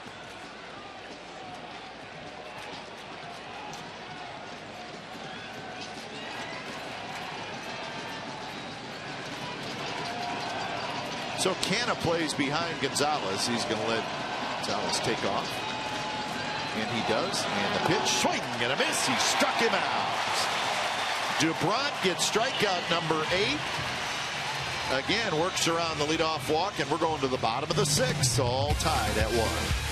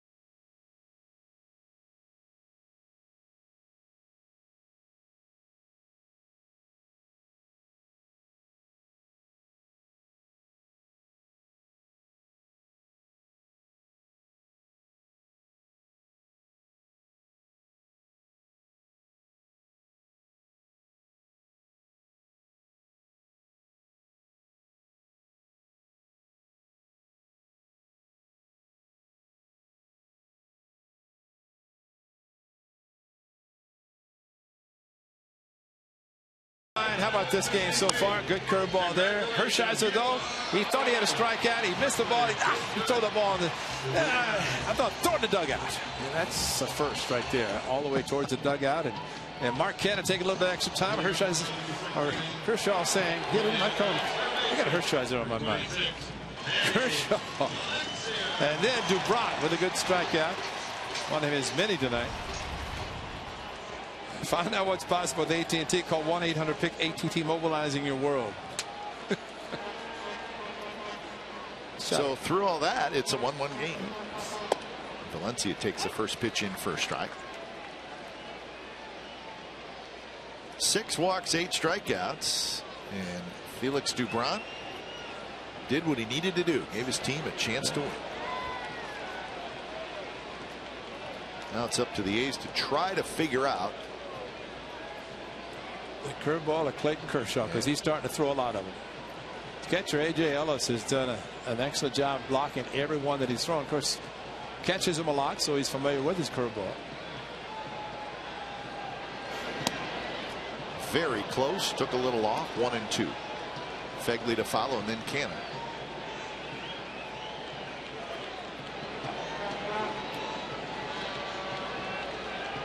Setting up outside. That one line foul right side.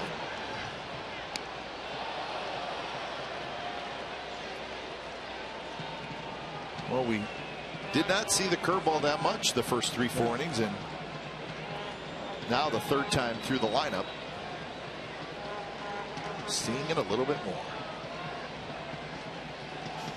And there it is, and it's tapped foul. Yeah, that could be by design. It's Kershaw will sneak his fastball and the slider. Then all of a sudden, here comes the curveball. And this is the third time through the batting order.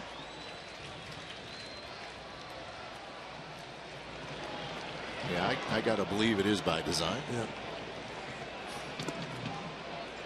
So two and two the count. Pitch count is at 75. Kershaw's last six starts, his innings pitched 9 8 9 8 6 8. So he's not coming out.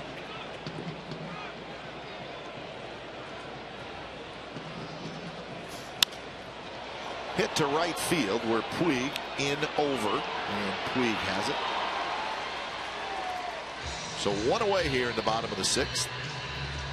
I think I've got Orel Hershiser on my mind because I remember two of the longest home runs ever hit by the guy in the Dodgers dugout as a hitting coach Mark McGwire. The shot whenever they were constructing Mount Davis.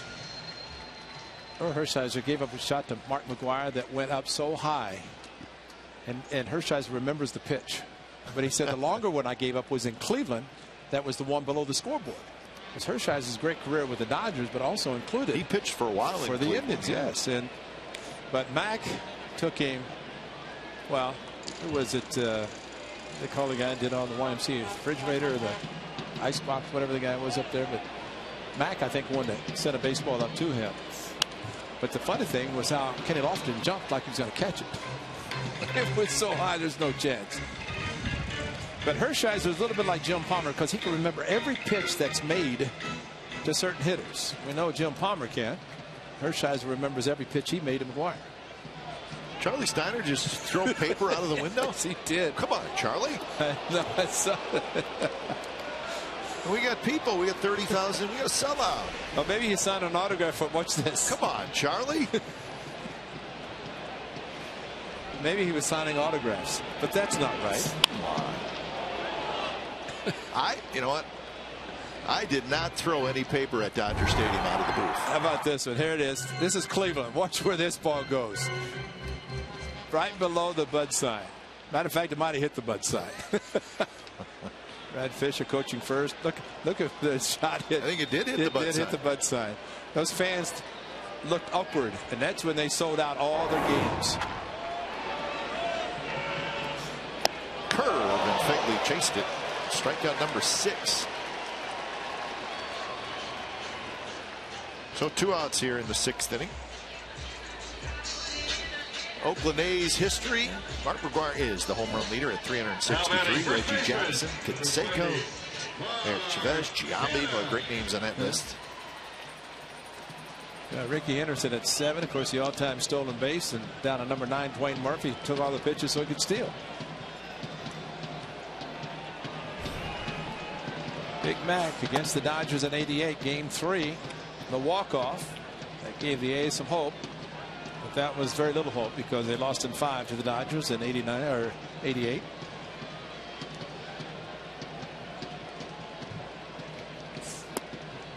Two and zero now to Mark Canha.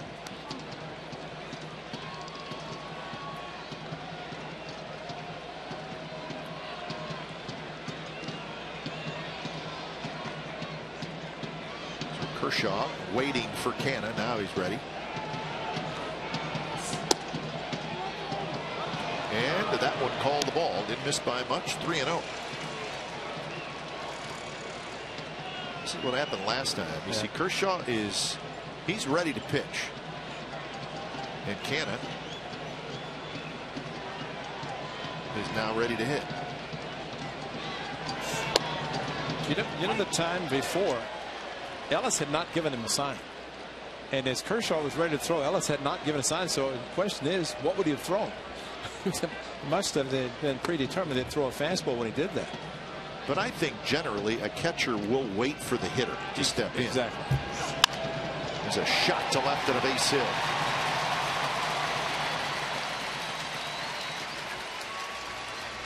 So Canha as a two out single hit number five off Kershaw. This is not on the list. This is Jay Howell, I think, pitching here. It was Jay Howell for the Dodgers and See the old stadium in 88. And that was the walk-off. The A's lost the first two. But the devastating blow was that of the Kirk Gibson in the first game because the A's had the lead. Grand slam by Canseco. They lost game one. Hershiser won game two. Then A's did win game three, but lost four and five.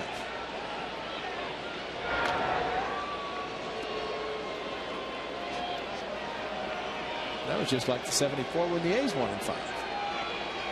In Los Angeles, won three straight here.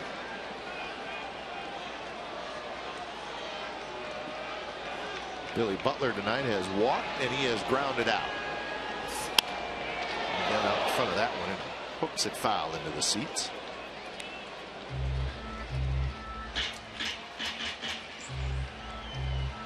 Pat Venditte throwing from the right side now as the first batter will be Ellis. And then the lefty Pederson. Oh, and we're going to get the switch hitter Jimmy Rollins. So that's what we're waiting declaration for. by Pat Venditte.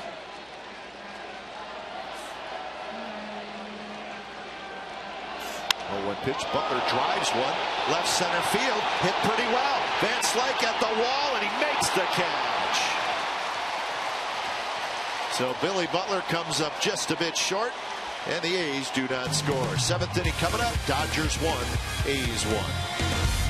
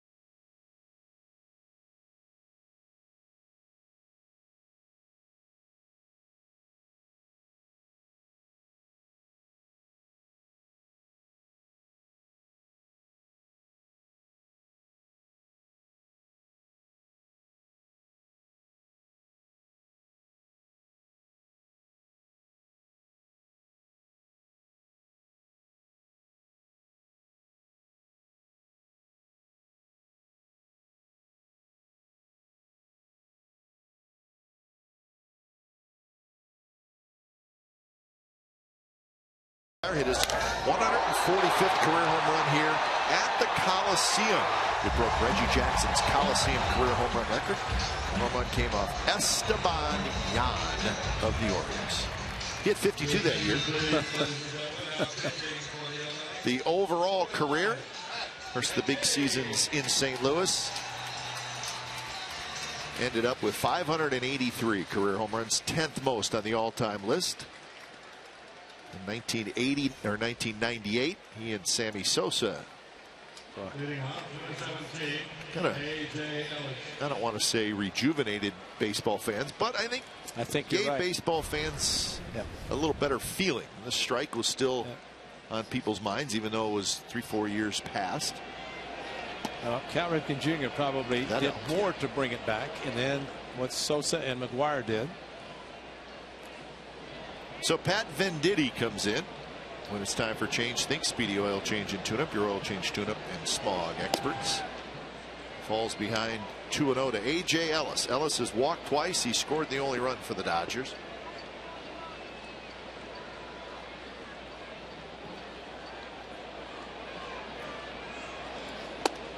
That one misses inside, and now it's 3 0. Doubront walked six.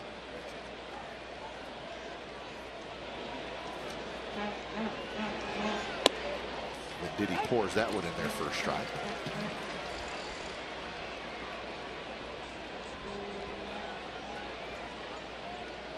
I'd just like to see something different happen in this part of the batting order that's happened previously.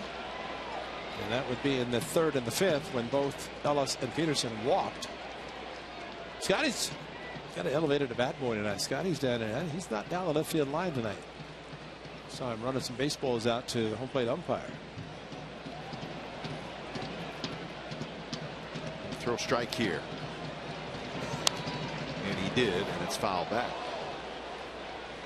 Astros won 3 to 2 at home. They did in walk-off fashion. Marwin Gonzalez with a home run in the bottom of the 10th. So 3 2 Astros over the Rays. So Houston holding on to first place in the AL West gets a win. Not close, like a slider that just spun. And Ellis, for the third time, walks to lead off an inning. Venditte's already switched the glove to the left side. Number 31, Joc Pederson. Here's Joc Pederson.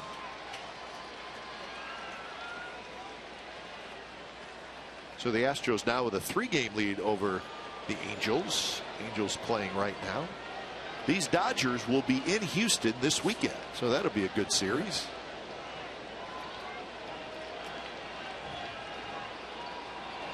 First pitch to Pederson in first strike.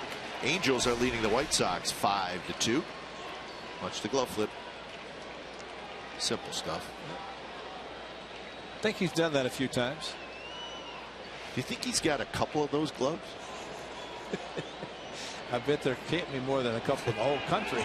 It's not like good. I guess my point is, is 10 years from now, that glove could be like legendary. probably already is, but that's a good Yeah. point. About 10 years, yeah. Don't give it away, Pat. Maybe bronze it, you know. Oh, man, big time.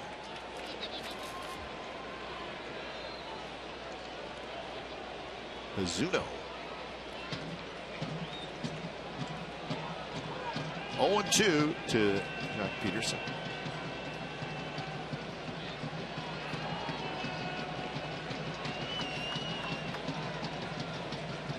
Couple of walks for Pederson tonight. Slider outside. That game in Anaheim, it's Danks and Richards, the pitching matchup. Richards just left. But he leaves with that 5 to 2 lead.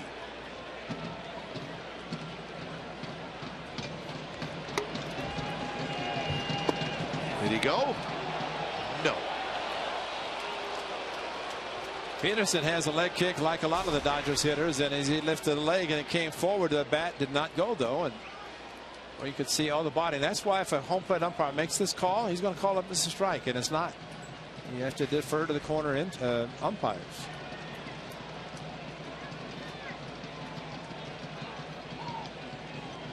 Took off a fastball, going back to slider. And it's popped up. Shallow foul territory. Phegley with a basket catch. So that was a good pitch by Venditte. It got Pederson off balance. He was reaching for it. It was away. Yeah, Jimmy Rollins just looked at the umpire and put up both hands. Said, "Which way?" Is the basket catch by Josh Phegley. Rollins. So nice play as it got a good breakout from behind home plate on the pop up and might have been his only play or the only play was for Phegley. So Rollins was in the on deck circle. He looked at the umpire and realized that Venditte, Jimmy Rollins already had the right handed batting helmet on. And I guess he thought he was uh, going to pitch to him based on the splits.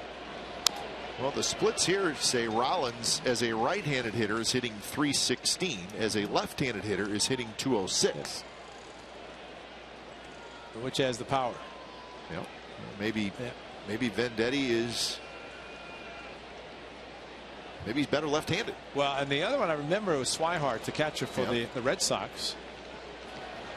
And he initially had set up to pitch right-handed, allowing him to hit left-handed, and he changed. Remember before he got up on the mound, he said, "I made a mistake," because they had talked about all these before. So hitting left-handed, he's hit nine home runs, only 206 batting average. But I, 79 at bats right handed. I just remember him more throughout his career being a very good left-handed hitter, leadoff hitter, and hitting some leadoff home runs. So one and two the count. Ike Hernandez, a right-handed hitter, waits in the on-deck circle.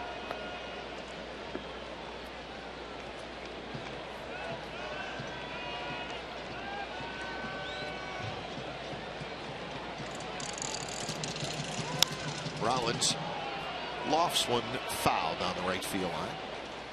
The Mariners beat the Rangers 3 to 2 in Arlington. That breaks the Rangers five game winning streak. Iwakuma over Gonzalez. So the Mariners for uh, one night anyways cool off the Texas Rangers. Iwakuma didn't pitch a no hitter. He did not. No. He did pitch seven innings though. So Johnny Vander Meer still safe. Yeah. Probably forever. I think so. I think he's good. Now the Rangers coming into tonight just three back in the division and one back in the wild card. And they still play the Astros seven times and the Angels seven times. So the Rangers got a shot. A little bit inside, not by much. And the A's could have a say in all of it Oh, because question. they they play all those teams a lot. Rangers acquired Will Venable today from the San Diego Padres, a pretty good left-handed hitter. So they add a little offense to an already good lineup. Will Venable, now a Texas Ranger. Now Pederson uh, actually was hitting when Ellis. This is back in the fifth inning. Ellis was running on the 3-2 to Pederson. Then he walks. If he runs now with Rollins the plate. That one taps slowly. Valencia charges. He's going to go to second, and a nice play by Danny Valencia. Boy, a decision to make. And he figured he had just enough time to go to second, and he did. Now That's a good play. how quickly he charges. That means then he has to throw it back across his body. And now these are plays that infielders will work on. They're thinking even before the pitch is struck. And of course, a slower runner and Ellis going to second base. A little quick look by Valencia to Rollins heading to first, but the only play, the best play, was to get the lead runner. That one almost hit Hernandez. If you think about it, he pitched left-handed to Pederson, left-handed to Rollins, first pitch to the right-hander. This is, you know, this is, I think, one of the things, that he's dealt with it a lot. But just happy that that slider didn't hang in the middle of the plate, that it ran off the plate inside. Yeah, that's got to be strange. Yeah. I mean, all of a sudden you turn around. Now you're throwing from the Yeah. right side. Obviously, that's what he's all about. But still, your point is be careful with that first pitch Right. when you switch. And Rollins was running. And he was either getting out an extra lead or he was actually taking off and then quickly got back to first. Sometimes that can lead to a pitch out. Ball in the hole. Semien dives. He's got it. He'll throw to second. Not quite in time. Heck of a play by Semien, but his throw just a little bit late to Sogard. Boy, anybody else besides the speedy Jimmy Rollins, that's an out of second. Great play by Marcus Semien. And in the hole, the dive from his knees, throwing quickly to second. And just like Valencia, his first thought, go the short route. Sogard stretching, Justin Turner. and Jimmy Rollins just too much speed. Excellent play, though. And for Marcus Semien, just on the job training every day, working, working, working. And that's probably a play that you can't really simulate a lot. It just has to be made as a reactionary play. So another big out to get by an A's pitcher. Dodgers have stranded six through the first six innings. Turner is 0 for 3.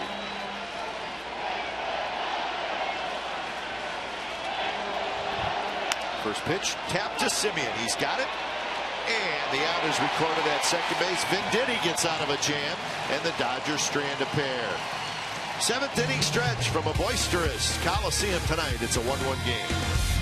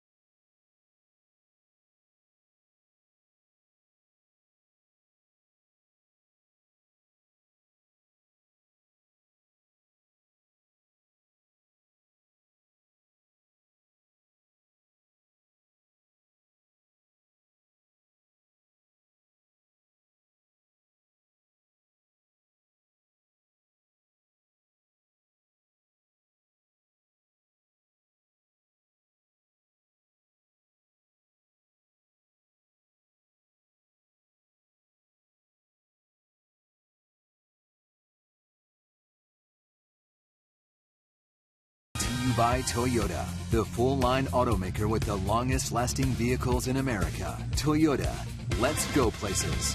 And by Xfinity, home of the most live sports.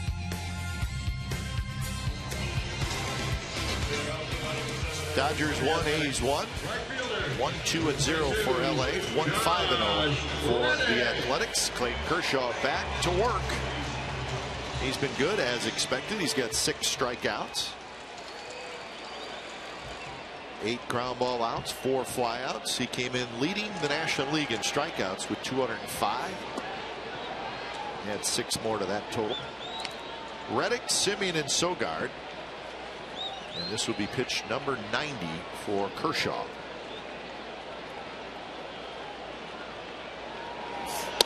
Reddick takes a little high, 2 0. You know, Cap, I'm impressed with the Dodgers defense and their setup. I mean, they're playing straight up. And, and this Isn't that amazing? Yeah. No. One team can do that, Yeah. and another team does the exact opposite.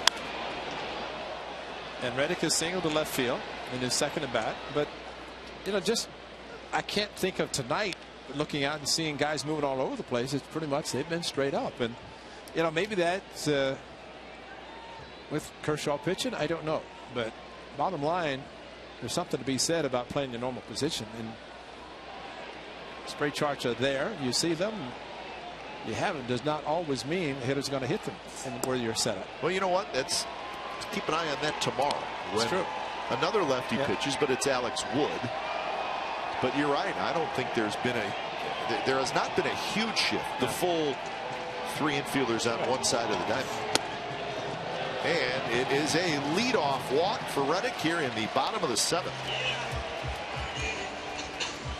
Well, lefty on lefty, and again going back to the Dodgers versus the Cardinals last October. Lefties hit Kershaw, but boy, he is so good, so tough. Marcus David Lopes on the bench, great second baseman for the 70s, back in the 70s with the Dodgers.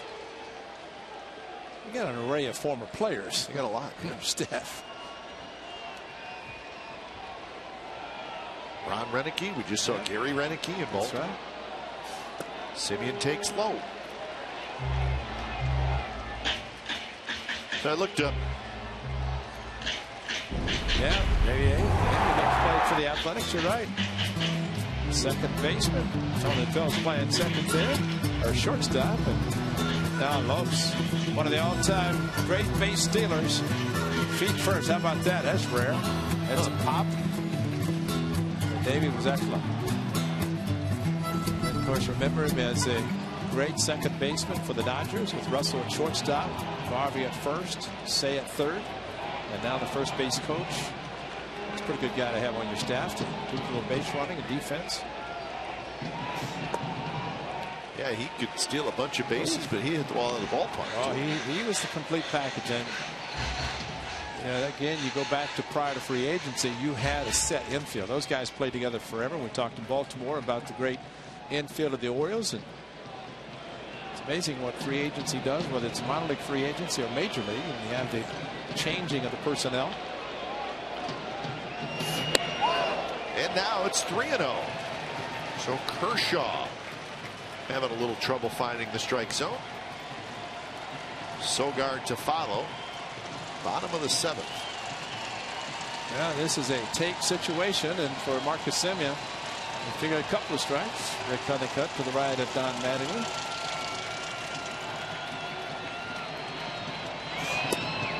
And that's a low strike called, 3 and 1.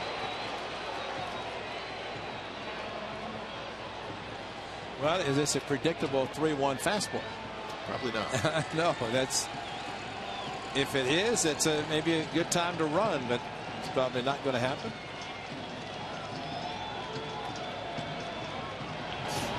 And that one is hit hard to left field. Van Slyke going back, and he turns around on the warning track, and he makes the catch.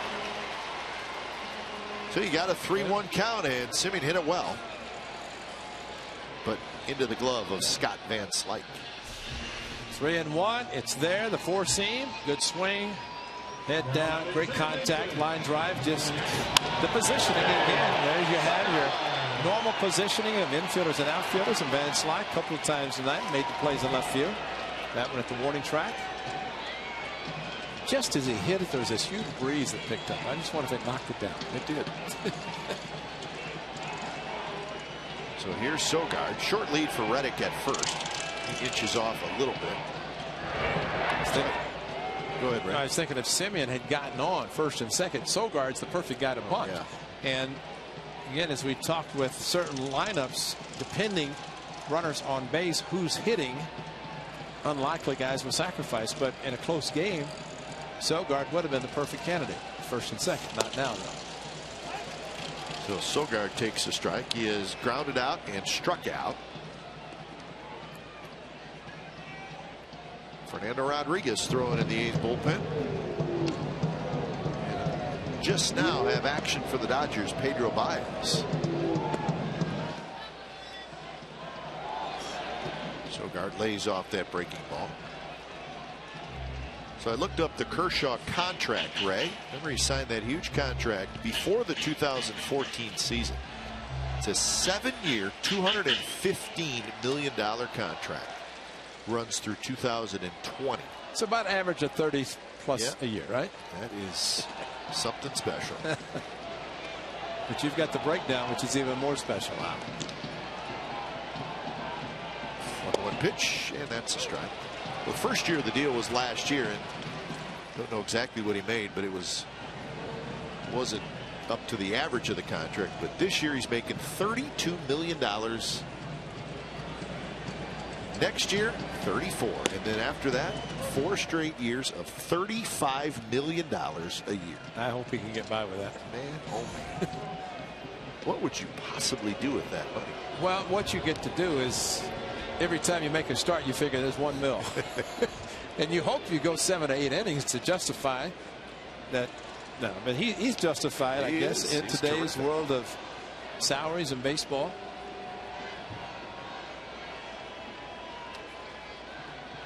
One and two. The pitch to Sogard is rolled toward third. Turner kicks it and juggles and now throws and he throws wide off the bag. And Sogard is safe. Oh, he came so close to having a run because you could the ball was squibbed off the end of the bat and you could see the spin and how Turner was going to have a tough problem with it and then he panicked once he missed it and double clutch and he almost I mean Gonzalez is a great first baseman that ball could very easily been to the visiting bullpen and Reddick could have scored Sogard maybe to third base what a play by Adrian Gonzalez at third base. See the spin, hit him in the heel of the glove, and then panic double clutch, and then fired a bullet way offline. But you could see off the bat it was going to be trouble for the third base.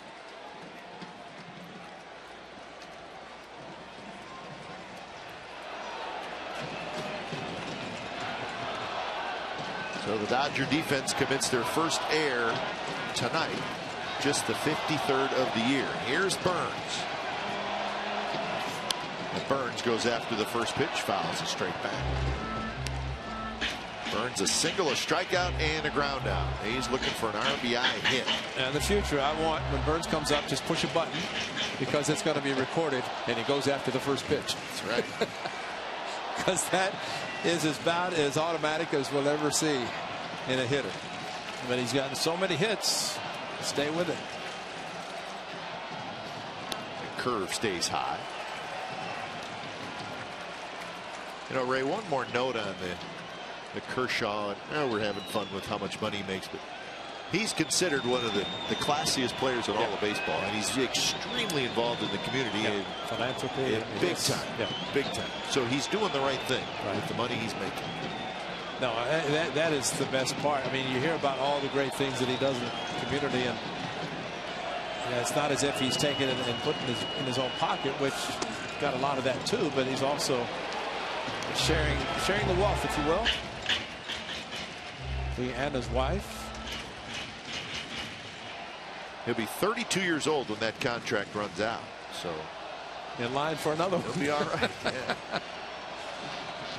But the A's got him on the ropes here in the bottom of the seventh. He's thrown 105 pitches.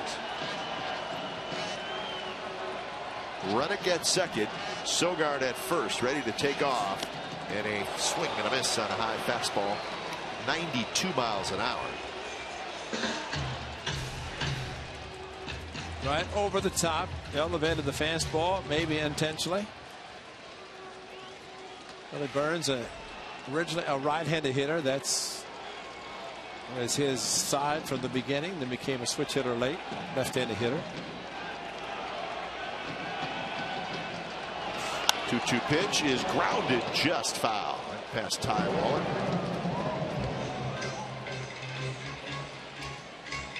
Angels are leading 5 to 3 over the White Sox in the ninth inning. Huston Street is on to try to close that. Angels trying to keep pace with the Astros who won earlier tonight.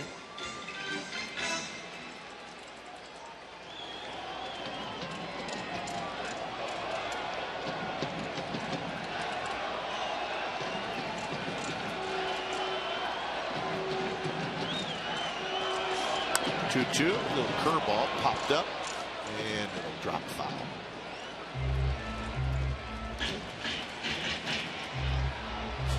Peter's down there by himself. Well, he got all the goodies, got carrots and fruit. It's great Pete Alonso. it's kind of like the great late Bill King. Brings food, but you never want to share it because you don't want any of what he brings. Yeah, Pete always has a bag of food, but it's some strange looking yeah, food. Yeah, you don't want any sharing. Have him share it with you. No, you eat it, Pete. Burns just got a piece of it rolled and foul. One of the things about Kershaw is kind of interesting with his stretch position, but when he settles down with the ball in the glove, it's kind of back a little bit on his left shoulder. You know, a lot of guys will bring it down to the set position of the waist, but the uniqueness of his stretch and his windup, everything, throwing the balls in the side when he doesn't want them. But I'm sure he's got a good reason for doing that. I'd Yeah. be curious to see Yeah. what it is. It's almost like he's set up to to quick pitch and he's already in the position to throw. But watch, see the LES on the Angeles as it comes high and then he settles down. Watch where he settles with the glove right there. See how it turns it? And a big curveball and Burns swung over top. So Kershaw gets a big strikeout, number seven. But you know, whatever he's doing, it works because he's pretty good. But it, it's like it's in that position, and whenever he drops a leg out of the stretch, it's kind of a slide step all the time. But it's almost like he's loaded up to pitch. The whiff percentage Wow. off speed pitches best in the big leagues. So let's say he, you know we saw his fastball it's 92 93 so it's not you know upper 90s but I think it sets up that other stuff so well.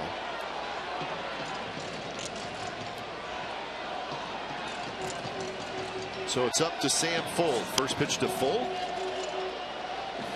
Hit into the second level foul. So Kershaw jumps out ahead 0 1. 111 pitches for Kershaw. 123 is his season high.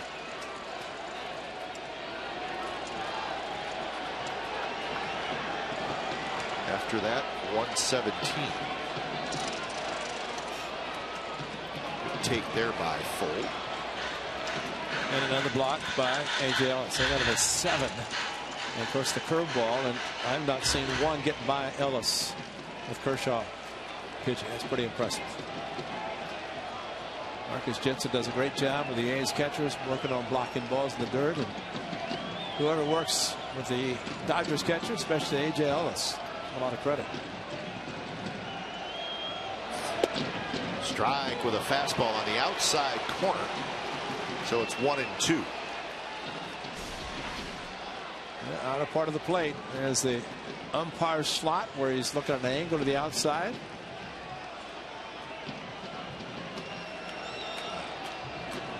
It's the average pitches per game, 103. And Sam Fuld laid off the fastball. Just feel like in that bat against this guy, you're just you're just fighting him. You know, you're just fighting him. Well, you look at the outfield, they're shading him. Well, left fielder, Van Slyke, way over, almost near the A's bullpen. And figuring if he makes contact, it's going to be a pitch away and he's going to shoot it to left field. And a big curve and Folds looked like he saw it pretty well Yeah. and just got a piece of it. Well, this one kind of hung on the inner part of the plate for Sam Fuld, and that's a mistake that Kershaw got away with.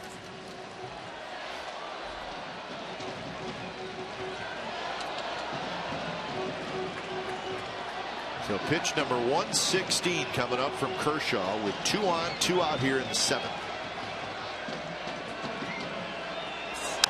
And it's bounced towards second.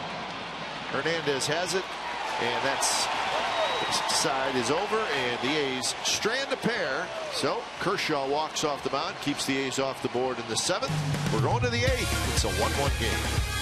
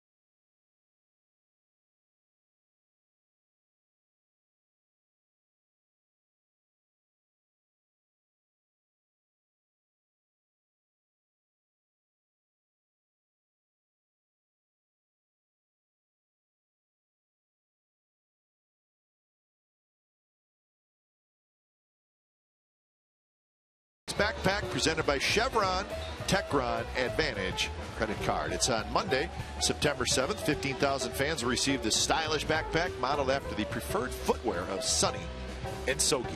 Get your Labor Day tickets now at athletics.com slash tickets or by calling 877-493-BALL. Good looking Sox. Should a good ball game tonight. Should be a good looking backpack. So Pat Venditte back out there as he weaved in and out of Dodger runners in the seventh and was able to keep the Dodgers off the board as he faces Adrian Gonzalez. So lefty on lefty. That generally does not bother Gonzalez, who's just a very good all-around hitter. Well, he uses the whole field as well as any as well as any major league hitter, lefty or righty. Has power. He's hit 24, so he'll use the whole field with the power as well. This one's popped up, foul territory. Boy, if you can get Gonzalez late in the game, Yeah. that is huge because he is a dangerous hitter.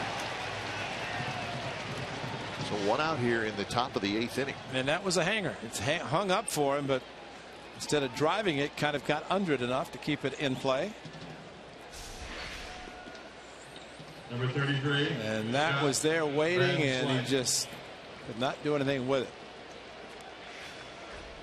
The A's have been looking for somebody in this part of the of the game. And ideally, you'd like to go seven, start to go seven innings, then you go to the setup in the eighth, and then in the ninth. But what Pat Venditte has done, especially tonight, exactly what Bob Mel has been looking for. And a quick 0-2 to Van Slyke. Well, I think the fact that Bob sent him out there for a second That's inning may say something. Exactly. Plenty of guys have got their chances in that bullpen, but unfortunately, not a lot of them have really stepped up. That one hit to left. Fuld is back. Room got it. I did not have a good feeling. I did not either. Because that was the hanger, just like the one Bob Melvin said. I don't think we're going to take another chance with that one. But the hanging breaking ball and Van Slyke. Yeah. That's the way we felt, Pat. Hey, Pat, this is Oakland. It's not Baltimore. There's a difference. Sam Fuller had it easily. And who knows, Ray? It is breezy. Yep. It's very breezy it tonight. That just may enough. Yep. come into play. So when it's time for change, think Speedy Oil Change and Tune Up. Your oil change, tune up, and Spawn experts.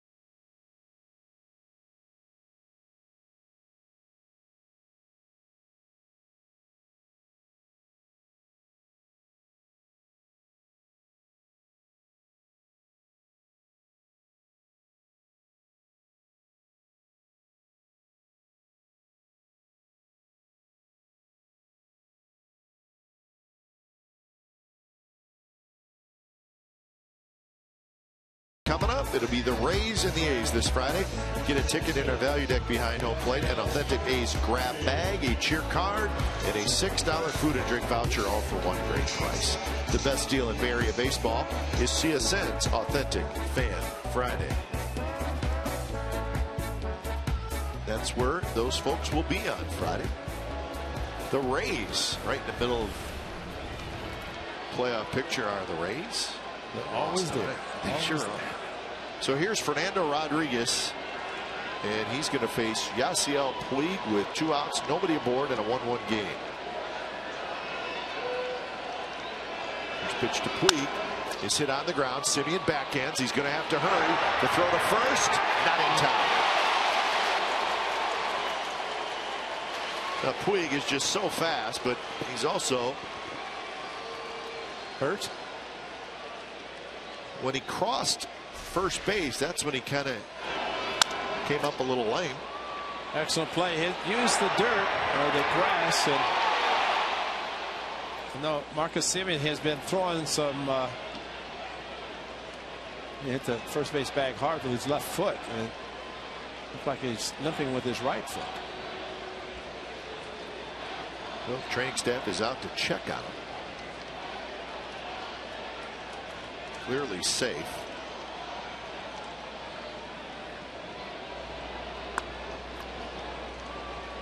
Running okay there. He's running okay there. He's running. It'll be a good race between he and Mike Trout. Oh yeah. Both big guys. But he was running hard for 90 feet. I don't know what happened after he crossed the bag and yeah, grabbing his back of his hamstring, the lower part of his hamstring.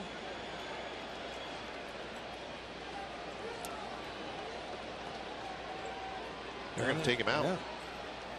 Carl Crawford is going to come in. He may be just as fast. So Puig will leave.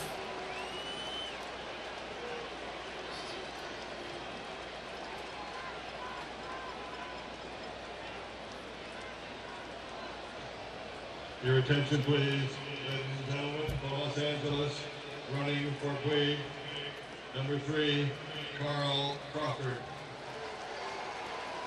Uh, he's, again, he's holding the, the back of that right leg down near the knee. Batting for Guerrero, number 60, Andre Ethier.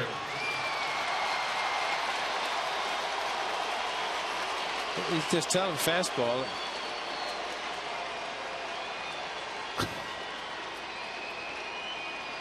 I'm going to show you. I'm going to show you right now. The problem is, one minute later, you're limping back Right. into the dugout. So and biting your helmet. that doesn't really do much good. This is Andre Ethier hitting for Alex Guerrero. Ethier, dangerous left-handed hitter. First pitch, a little bit low. I think Todd Tichenor thought about calling it a strike. Isn't that amazing? You, you, you see this lineup tonight. You go to the eighth inning, all of a sudden, here comes Crawford. Here comes Ethier. You know, wait, a minute. Where, why aren't these guys playing? But that's one of the dilemmas for the Dodgers. They have, have so many outfielders. Joc Pederson had stepped in, and Matt Kemp was traded because of him. Pederson's playing center. Then you got a crowded outfield. But Fernando trying to get through this inning. First two outs by Pat Venditte, infield out, infield base hit uh, by Yasiel Puig. And now it's 2 0. The Dodgers will look up at the scoreboard. The Giants won tonight in St. Louis by a final score of 2 to nothing. So right now, it's a two and a half game lead for LA.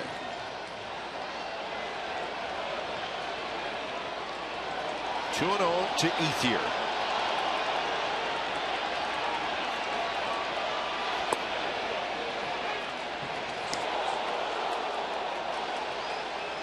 So now two and one.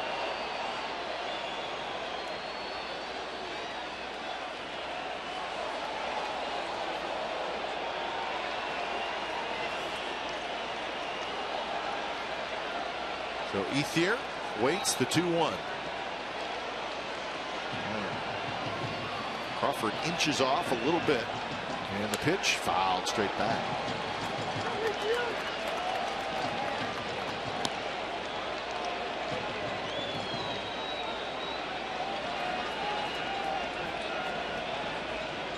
So two and two.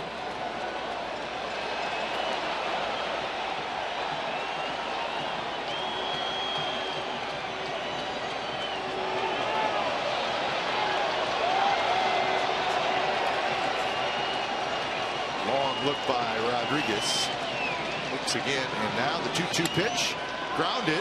Sogard has it, and then he kicks it and rolls away, and Ethier's going to be aboard. Sogard got a pretty good glove on it, but then it just trickled away from him.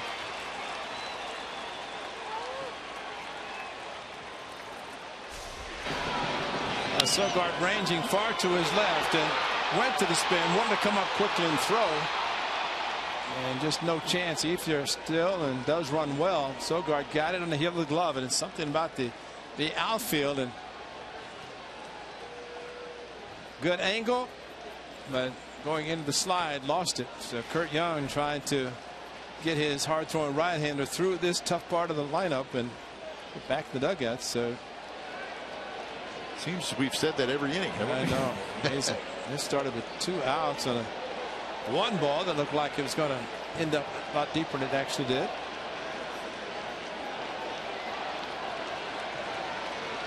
Now batting, number 17. So A.J. Ellis again. A.J. Ellis has walked three times tonight.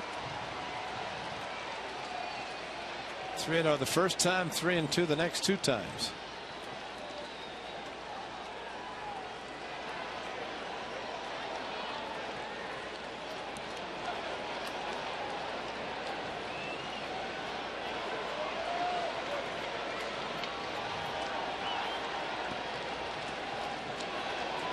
Crawford, Ethier are your runners. First pitch to Ellis, hit high in the air to left field. Fuld is going back. Gone.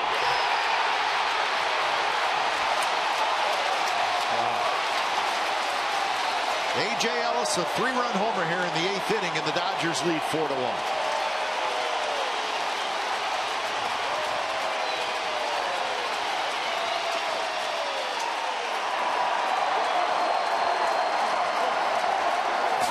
Brooks in a three-run home run. Fastball, and there's your fastball to hit, and he hit it. And just the fact that for A.J. Ellis, it was his good swing on a fastball thrown very well by Fernando Rodriguez. And that's the unfortunate thing because it started with two outs. And then Puig with an infield hit. Ethier with an infield hit. And then that blow. So the third home run of the year for Ellis. And I can't imagine the other two being any bigger than this one. Yeah. So this is Joc Pederson. A lot of Dodger fans in the house, and they just erupted.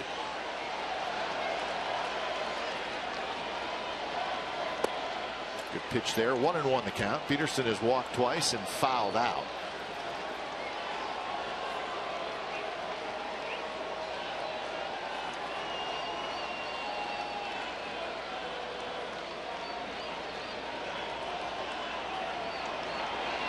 A curve drops low.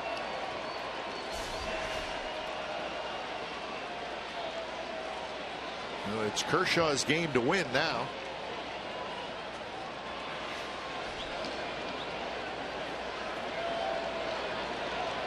So Rodriguez came in, two outs, nobody aboard. Venditte got the first two outs. Puig the infield hit, Ethier the infield hit, Ellis the three-run homer.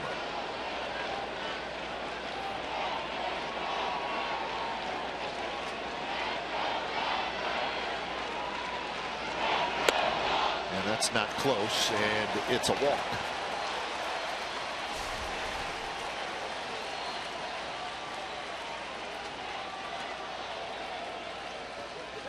When you think about Fernando, he went about 47 innings without giving up a home run. And that ended recently, and tonight just made it that much worse. Number 11, Jimmy Rollins. So Rollins will step in.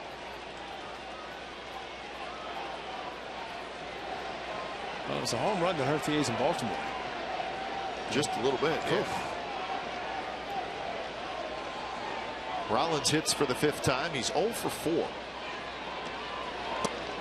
He does have an RBI with the ground out in the fifth inning.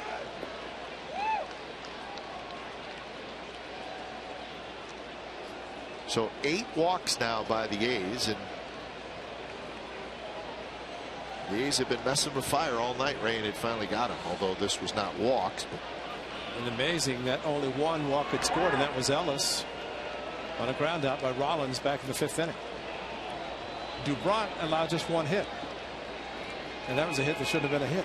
That was the one in the second inning, fly ball left field. But a lot of walks. It got out of the jams, but this inning has not worked well for the A's as far as getting out of jams. It all started with two outs. hit high and foul. So 0 2 to Rollins.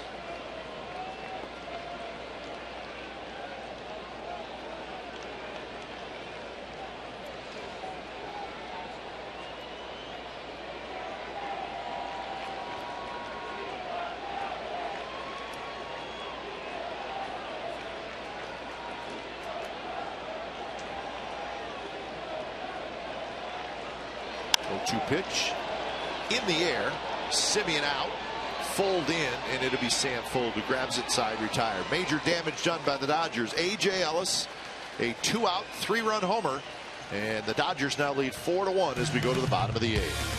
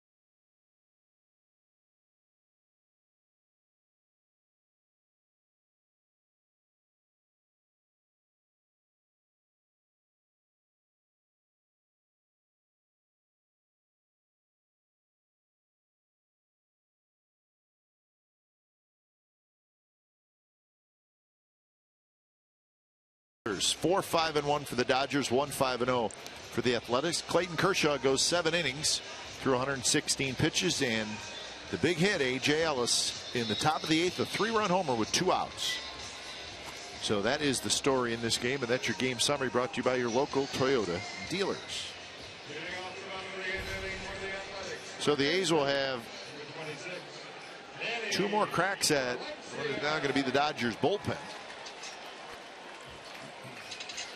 Well, the bad part about this is you get to the bullpen with only two innings to try to do something because all that happened in the seventh inning. 36th appearance for Baez. Dodgers have a very good closer, Kenley Jansen. They have had some issues with non-closer personnel in their bullpen. And they made a couple trades, picked up a couple guys at the trade deadline, Jim Johnson being one of them, but he has not pitched well. Well, they got some power in this kid. Uh, Baez can throw upper 90s.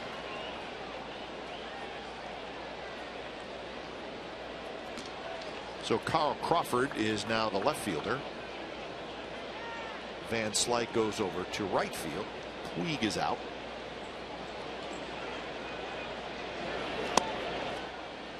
One and one the count to Danny Valencia, who is one for three. Strikeout, single, and a fly ball to right field.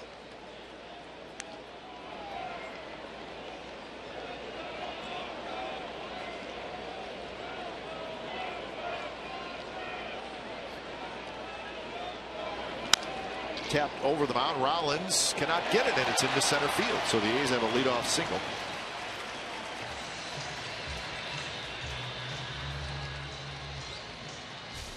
So hit number six for the Athletics. At fastball, then he throw him a slider, and Valencia running hard this time, thinking he's going to have to beat out an infield hit, but it made it up the middle.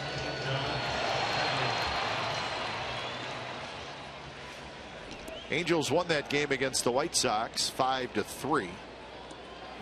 Albert Pujols hit another home run. He's got 33 on the year and 553 now in his career. So the Angels remain two and a half back of the Astros. Phegley takes low.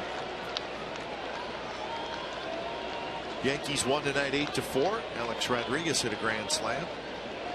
And the Blue Jays beat the Phillies 8 to 5. So Yankees with a one game lead over Toronto.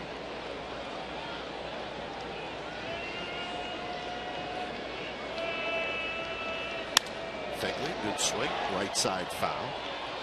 Mets beat the Orioles 5 to 3. Couple of home runs for Curtis Granderson. Jacob DeGrom is 12 and 6. So we just saw the Orioles. So their winning streak is snapped. Orioles now five back in the East. Angels take over the second wild card as the Orioles fall back out of that spot.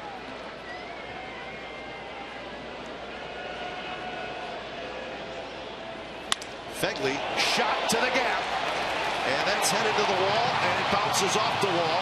Valencia is going to go to third. He'll stop there. Phegley with the double, and the A's got something going here in the bottom of the eighth.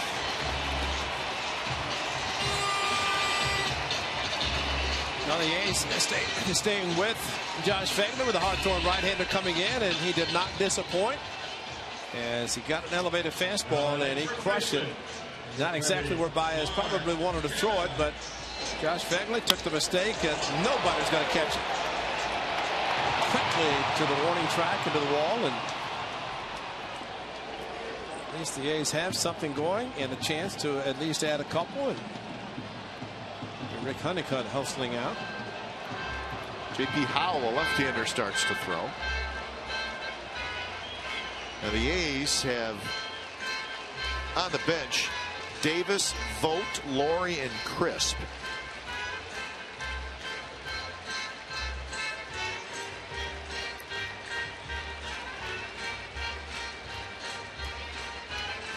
Howell just now starting to get loose.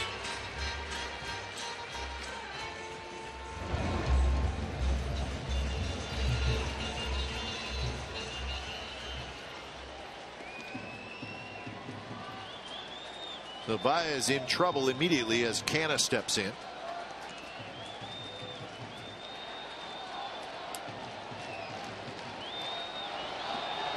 Canha's had a good night, couple of singles. He scored a run.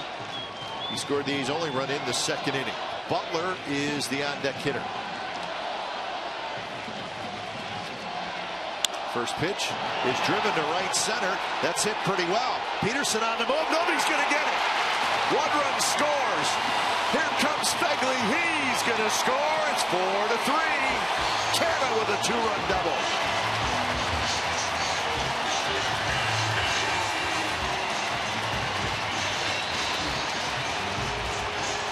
It's amazing to see a ball slice that much, and yet nobody can get to it.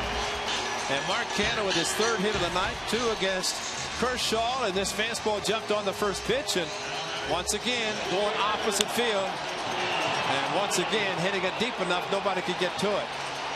And Slack had the ball slicing back, not enough time. Gag said, "Let's go, come on, come on, let's go."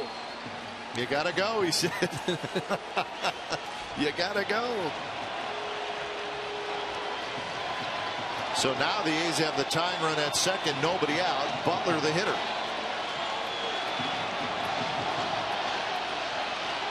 First pitch, Butler shoots one foul right over top of the Dodgers dugout. It is a sellout crowd tonight, 35,067, third sellout of the year, and they have seen a good ball game. And congratulations those fans. Tuesday night sellout. I don't care who you're playing and what the giveaway is. You sell out a Tuesday night in late August or mid-August. Butler up the middle. And Billy Butler does his job. So that's pretty good at bat. And obviously, best case scenario, Butler driving him in. But he's thinking about doing the right thing, and he did. Hits it to the right side. You can see him adjust his swing to do exactly that. He did not want to get out in front and pull it. And Don Mattingly's going to go to his left-hander with Reddick coming up. But watch the swing by Billy Butler. Stay inside. Look at that's a great swing, and that's a great job by Billy Butler to do exactly that. And so Butler with a walk, and that might have been a big out. You're going to see tonight. So when it's time for change, think Speedy Oil Change and Tune Up, your oil change tune up and smog experts. Howell coming in to face Reddick.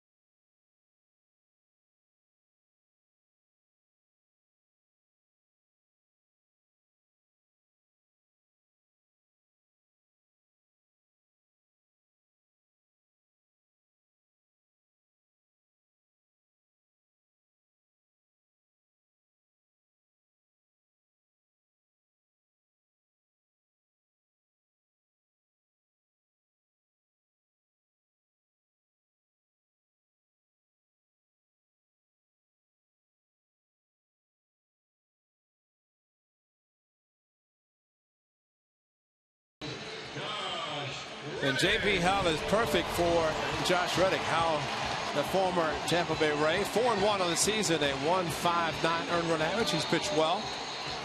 But he's a soft tosser, as they say. And for lefty on lefty, Josh Reddick, we've seen him go to left field, the infield straight up, outfield straight up.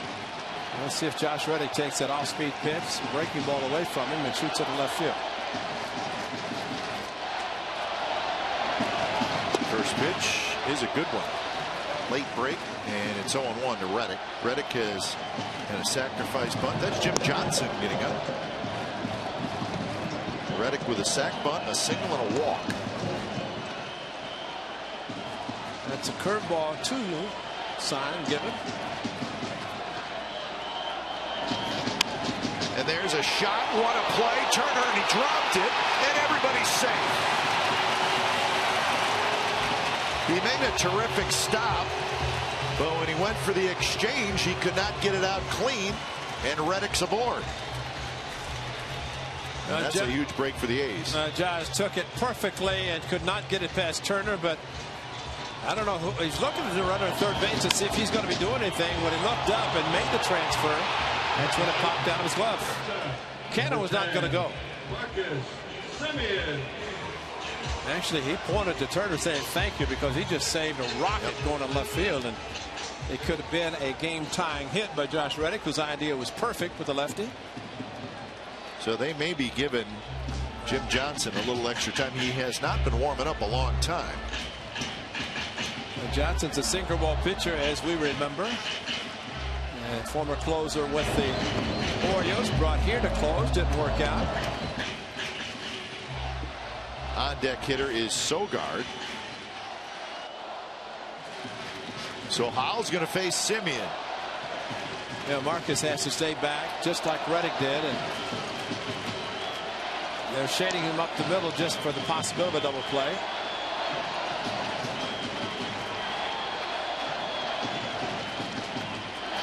First pitch, line drive, base hit, left field. And this ball game is all tied up at four. First pitch, why wait around? He got one right down the middle. This excellent hitting by both Reddick and now Marcus Semien got the changeup, stayed back, and this is just very good scouting and also great approach by the A's hitters. And this is just something that's going to help in the future, and you're seeing it right now with Marcus Semien. Big at bat, grounded out his first at bat to get a runner in, and get another one to third base, and this is perfect. So here's Sogard.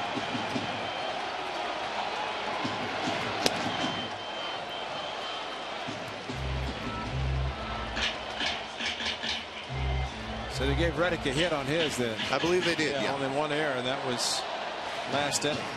So the A's had five hits off Kershaw through seven innings. They have five hits in this inning alone, and only one out.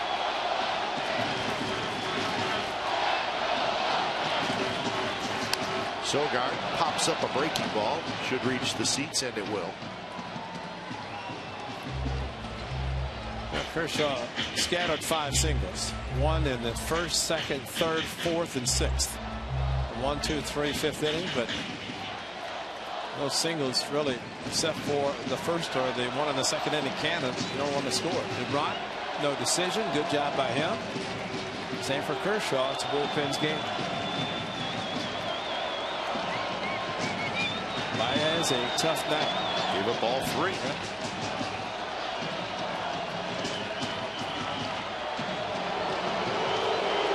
Good speed on the bases for the Athletics with Reddick and Semien. I have to wonder with Johnson warming up and a sinker ball pitcher with a right-handed hitter. Not much chance of a pinch hitter. And if you're going to go for a double play, that would be the more logical guy to pitch. No question. And I'm surprised didn't bring him in. So another great start by Clayton Kershaw is nothing more than a workout. And that is unless the Dodgers saw what happened here opening night last year against the Indians. That didn't turn out very well for one Jim Johnson. It's a bad beginning for him. Right in there, and it's two and two.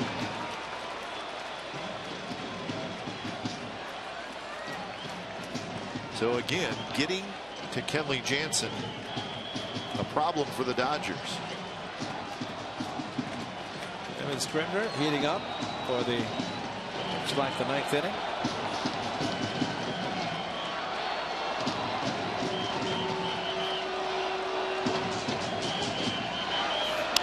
Sogard slaps it foul.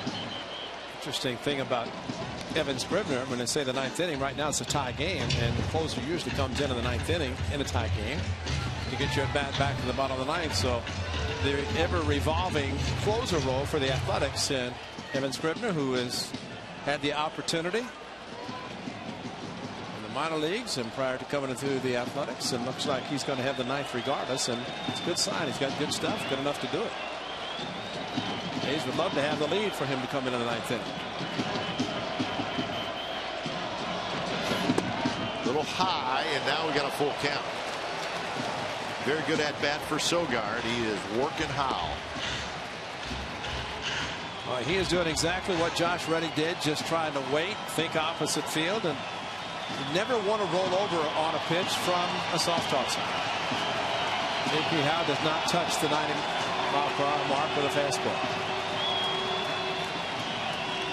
Runners go, and the ball's grounded fair right over the bag, and Gonzalez grabs it, so that's the second out. How close did that come to hitting the bag? That's what would have been so nice because the two runners were on the move, so confidence of that man, Bob Melvin, that Sogard is going to put the ball in play because you had lefty on lefty, and always easier for a catcher to throw. And Mattingly's going to go out, and he's going to bring in Jim Johnson, turn Billy Burns around left-handed. Let's just hear what is going to happen. And it was sad opening day here last year, and they're already starting. So when it's time for change, think Speedy Oil Change and Tune-Up. Your oil change tune-up and smog experts.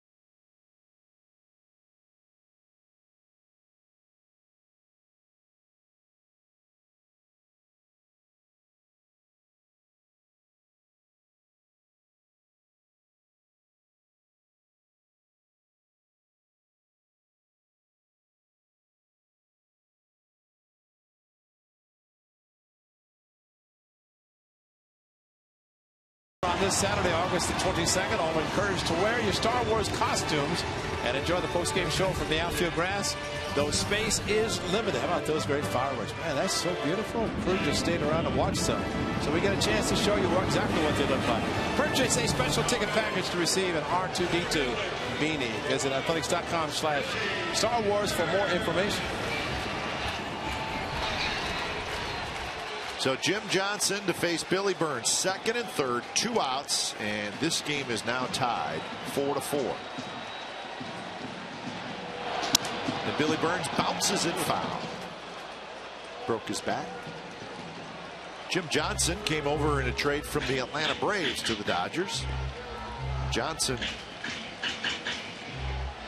was pitching okay with the Atlanta Braves, but he has not pitched well for the Dodgers six appearances, five and a third innings, and 12 earned runs. That's right, folks. I'm not making that up.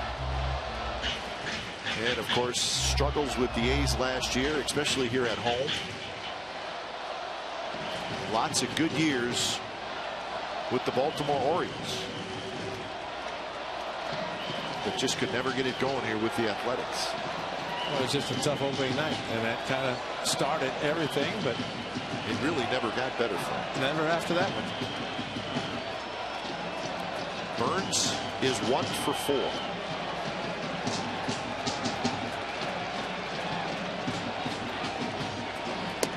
Good pitch there. A lot of movement. 94 miles an hour. So the count 0 2. The two seamer and it ran back. It was up in the zone, but still a strike. Well, with the runner at third, and Billy Burns with his speed could get another infield hit to give the A's the lead. Hangs in there on that one. Or just a hit in general. Few people left after A.J. Ellis's three-run home run. Those people who left are disappointed as they're driving home listening to Ken and Vince on the radios wondering why'd we leave? It's a good game. You never know what can happen late in the game and people are going to be disappointed they're not here to watch this big comeback by the A's. 0-2 pitch, big curve. Billy Burns somehow was able to get a piece of it. Not quite sure how he got a piece of this. Off the back foot. Back foot. That's quite a swing if you make a pass at it like that and just make contact. That's all he's trying to do. And infielders are really thinking about if he puts the ball in play, especially the sinker ball that Johnson throws. Swing and a miss. He struck him out on a high fastball. But the A score three times. And so as we go to the ninth inning, this ball game is now tied at four apiece.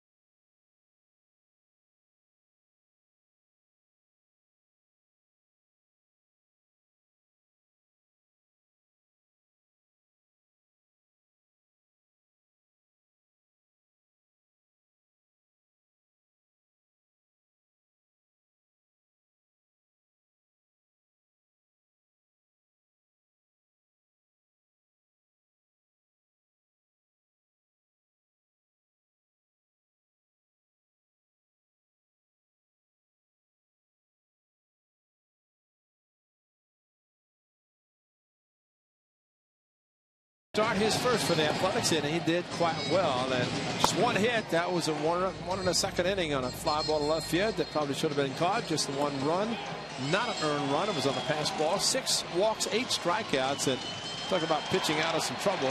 Felix Doubront did, and Felix Doubront did a great job for the Athletics in his first start.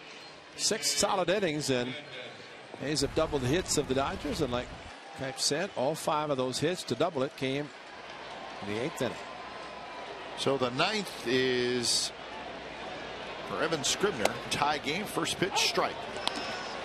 Faces Hernandez, Turner, and Gonzalez. And it might be Abad for Gonzalez right now. Adrian in the third spot. A couple of righties and then a lefty. And Sogard cannot quite get it. Missed over the outstretched jump of Sogard. So Hernandez has a leadoff single here in the ninth inning. Cut fastball into the bat. Sounded like a broken bat. Looked like Sogard might have a chance to get to it, and he headed back and just hit hard enough and just over the glove of Sogard. Wow. Let's just hope the A's weren't teasing everybody and down three, score three, and can't get the hit to drive in the go ahead. And Fernando Abad getting loose. Turner up. Gonzalez in the on deck, sir. First pitch, Turner swinging away, hits it hard right to Semien. Shovels to second for one, double play.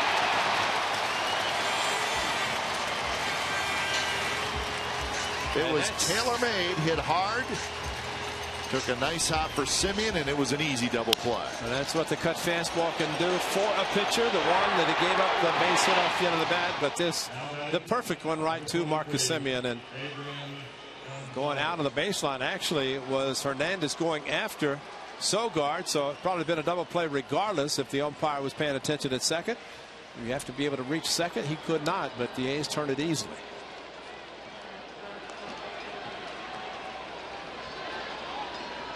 So here is Gonzalez. I don't think Eric Sogard was all that crazy about that slide. No. A little glance back Yeah. to Hernandez and Well, you're just hopeful if you don't turn the double play that the umpire is paying attention because that's automatic double play. You have to be able to touch the bag. You cannot go after a middle infielder that much out of the baseline. And Sogard did a good job of getting through the second base, so he did not have to worry about that. watch the spikes too, Ray. Oh, yeah, exactly. Right there. Look. Yeah, See? Yeah. That's not good. A late slide And the spikes go up. right there. Yep. They got him with the foot, and again, the umpire should have been pointing at it, even though the, uh, the double play was turned. So 0 2. Big curve. This time Gonzalez lays off. So the count 1 and 2. In the bottom of the ninth inning, the A's will have Fuld, Valencia, and Phegley. It'll be either Garcia or Jansen.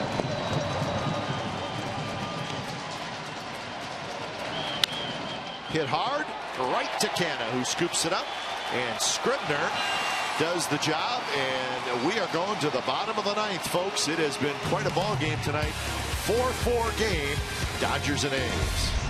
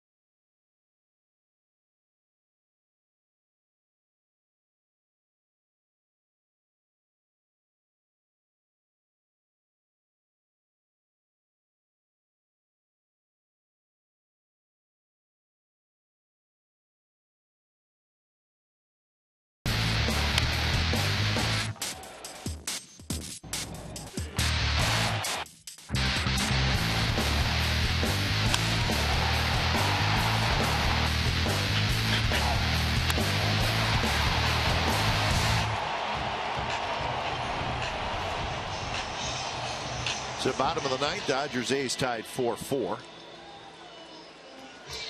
And the Dodgers go back to the bullpen. They will bring in right-hander Yimi Garcia. Another hard throwing right hander. Mid upper 90s fastball. Good cutter. Save opportunities. Not good. One for six. Of course, you're not the closer. You can come in and tough jams and blow a save, but A's would like to score a run and make this a very exciting come from behind win. A's had the Rasmus three run home run. The Astros in town. They came back and tied and won the game in the walk off fashion. That was the final game of the Sunday last homestand. Trying to do it again tonight. So Garcia facing Sam Fuld, who's 0 for 4 tonight. So right hamstring tightness for Yasiel Puig. And with the day game tomorrow, we may not see him tomorrow either. Shouldn't run too fast. That was he was running too. He's too fast. He's too fast for his own hamstring. Well, one thing he and Cespedes can do the same. That's throw. Both have unbelievable arms. So a quick 0-2 to Sam Fuld, Valencia to follow, and then Phegley here, bottom of the ninth inning. Dodgers scored three in the top of the eighth, and the A's answered right back with three in the bottom of the eighth. Sam Fuld, broken bat, grounds it towards second. Hernandez has it, one out.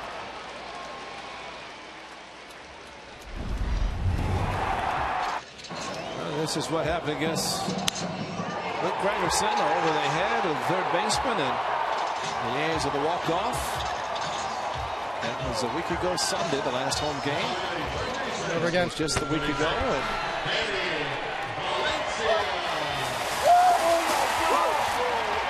oh, Frank down there trying to keep the headphones sharp, huh? Frank, Frank trying to be avoid being doused and keep the headsets going. A couple of hits for Valencia. He started that eighth inning with a single. First pitch is inside. Ellis his throw back to the pitcher. He held on to it a little bit too long.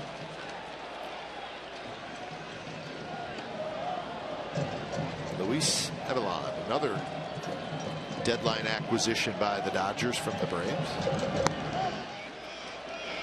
Valencia, a little bit of a hanger, and it's one and one.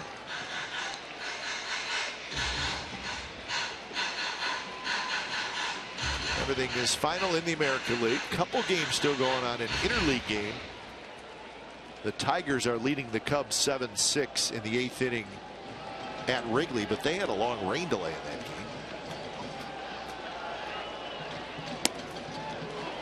Breaking ball, very close. Call the ball two and one.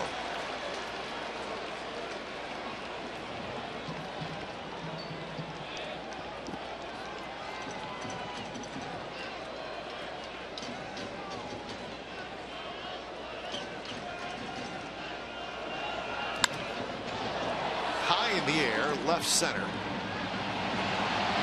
Pederson gets there. And the hanger just missed. Yep.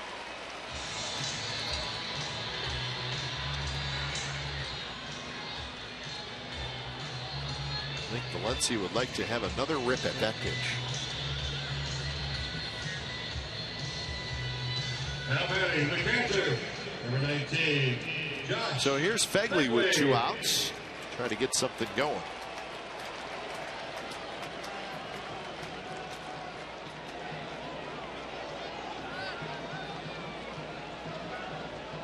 First pitch is a little bit low.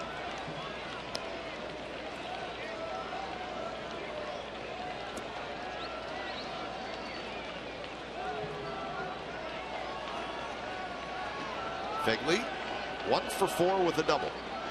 And a big double in the eighth inning. It got runners to second and third with nobody out. High fastball. That's uh, I don't care if you're facing lefties, righties. You get a pitch in the middle of the plate. It's about belt high. Most hitters are going to hit it as hard as he did. A two and one the count. If he were to get on, Canha would hit. Canha's had a big night.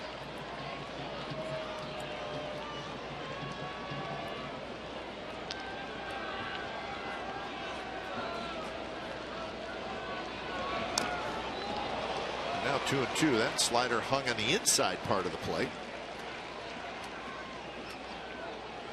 And a piece of A.J. Ellis. A big piece.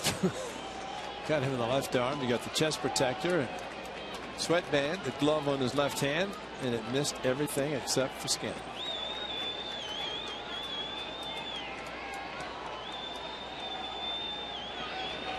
Two two pitch. And we'll do it again. 10 hits for the A's, back to back doubles, Phegley and Canha, and that's really the difference in the game.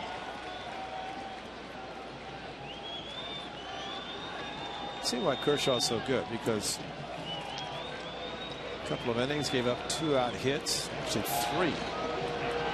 Three of the five hits he gave up came with two outs. Well, I think it goes back to what we were saying. It's hard to get two, three hits off him in an inning. What do the A's do the five? That's right. Phegley missed the slider on 3-2 side retired. We're going to extra innings here at the Coliseum. It's a 4-4 game, A's and Dodgers.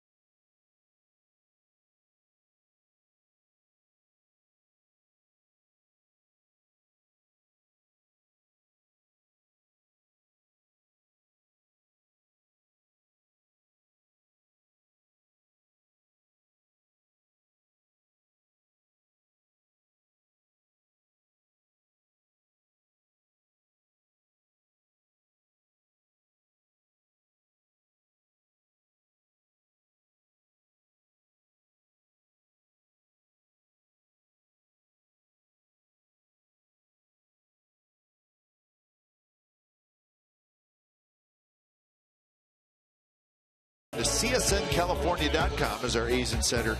Joe Stiglich provides wire-to-wire reporting for this A's 2015 season. He's got breaking news, video, special features, and much, much more. It's only on CSNCalifornia.com. Had a great smile on Joe's. I'm Yeah. like, man, I really enjoy my, my work with CSN California. I know it's just happy to be here. As we all are. Extra innings. There are the numbers. Athletics, four and nine. Dodgers, five and five. But what a difference this is going to make.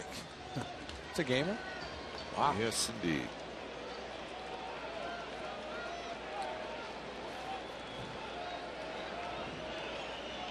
Another gamer. Those legs aren't cold. Ah. Scribner out there as he pitched the ninth inning, gave up a leadoff single, but then got a double play. Facing Van Slyke, Crawford, and Ethier. Those are the three scheduled hitters. And that's probably the most scary uh, of hits or at least drives by the Dodgers. That was Van Slyke in his last at bat. Fernando getting loose quickly as he did last inning, but did not need to come in. Maybe for Ethier than this inning. Sogard is going to grab this one. Last inning, he just could not quite get up and get it. This time, he did. And here comes Bob Melvin as Crawford and eighth to the schedule. That ball also sounded like it hit towards the end of the bat, but nice read by Eric Sogard.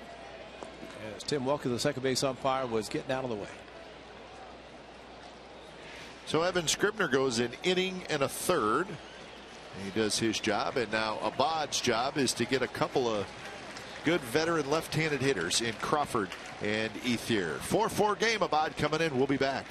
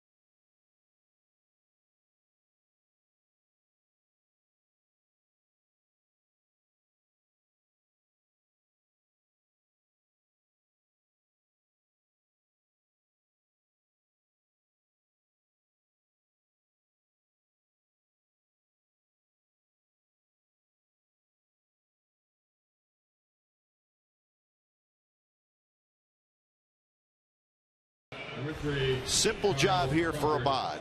Got to get the left-handed hitters out. Last year he was extremely good at it. This year, early on he struggled. Been a little bit better lately. Well, his comment, and of course it did not apply in Baltimore when he gave up the big home run to Chris Davis, but lefty on lefty. But that's it right there. The hard, everything hard. He said that's what he has learned, and he's got an opportunity now with two lefties to use the hard slider, the curve, and everything hard, including the fastball, which he just threw Crawford. First at bat for Crawford.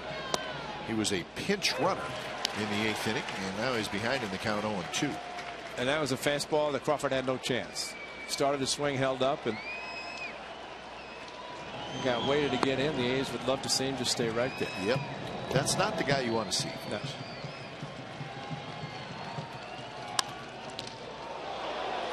Semien charges, and it's going to be an 0-2 hit. And once Abad got his glove on it and didn't catch it, there's no chance to throw him out. Crawford runs too well. Semien, even if he bare hands it, he's not going to make the play. And Abad, and that was going to go right to Semien. That's and now letting Abad get a hit off his hand.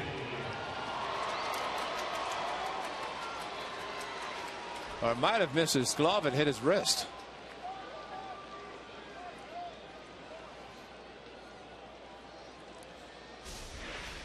Now check the, the right hand of Abad. Does it hit the glove? Nope. Got him in the wrist. That'll hurt. Yeah, it, he went down to, to, catch it and it hit his wrist, and that's the reason the attention's being paid to him.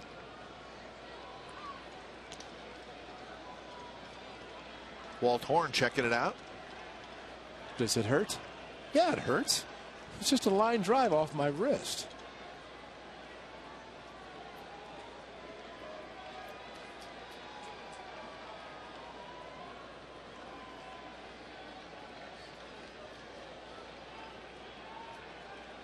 Look at Walt. Walt's like the pain whisperer.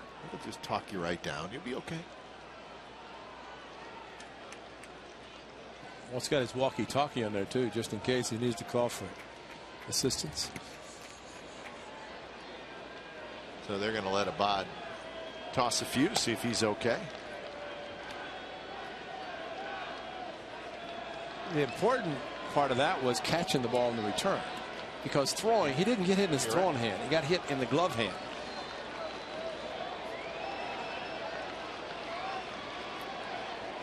But still, it's oh, PFP again. It's very difficult to handle a ball that's hit that hard. You don't know and reach down. And again, if, if pitchers sometimes just realize where the infielders were, they're always going to try to catch the ball, but you know where the guy is positioned behind you. You deflect it. Turns out to be a hit. So Ethier with a big swing 0 1.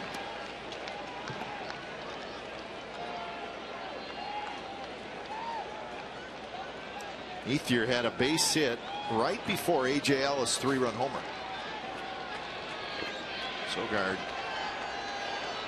knocked it down, could not get a play on Ethier. And that was back in the eighth inning. The one and one the count to the veteran outfielder Andre Ethier. Former A's minor leaguer.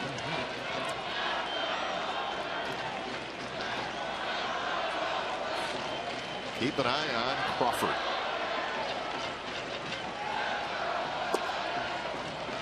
Two and one to count. Crawford has three steals on the year and only played in 34 games. But at one time, maybe the top two or three base stealers yeah. in all of baseball. Bounced foul. Yeah, Tampa Bay, he could do no wrong. Oh, my goodness. Triples, batting average, home runs, stolen bases, cover the outfield ground. And on to Boston, and that did not go well. Well, it's just I mean, granted, how you turn down the money that yeah, Red Sox gave him, but you know, bottom line, if he'd stayed at Tampa Bay, who knows the career he could have had. That one hit to left field, Fuld on the move, still on the move. Sam makes the catch, gets it back in quickly. And Crawford back to first. Heck of a play by Sam Fuld. Remember yesterday in Baltimore when the ball was hit to Canha in left field, either yesterday or the day before? But watch how this ball is handled. It's slicing away from the left fielder. And this is the way you play it. Slicing, slicing, Sam Fuld going after it and makes the play. And you know, you have to know that if lefty hits the ball left field, it's going to slice towards the line, righty to right field line. And Sam Fuld played both corner positions plus center field. He knew exactly how to play it. And really the excitement of the fans, but really not necessary because it's handled very nicely and very easy. So here's Ellis. This is what he did in the eighth inning. And that was a big hit. Huge hit.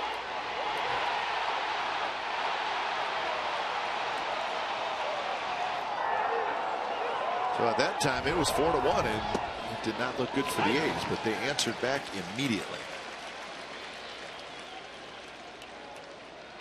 One and one to Ellis. He's also walked three times tonight and scored a couple of runs.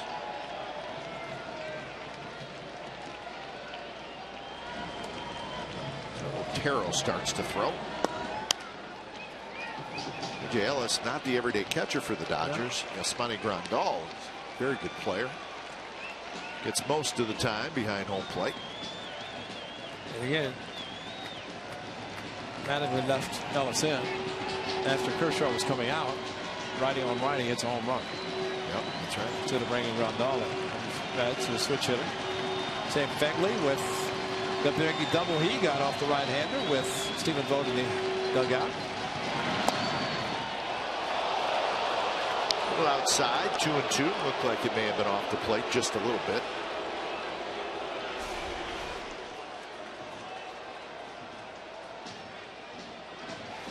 How long can you hold it?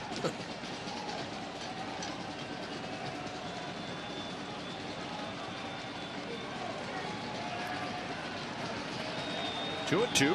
Crawford with a good lead at first, so Abad will check on him. Jansen is standing down in the bullpen.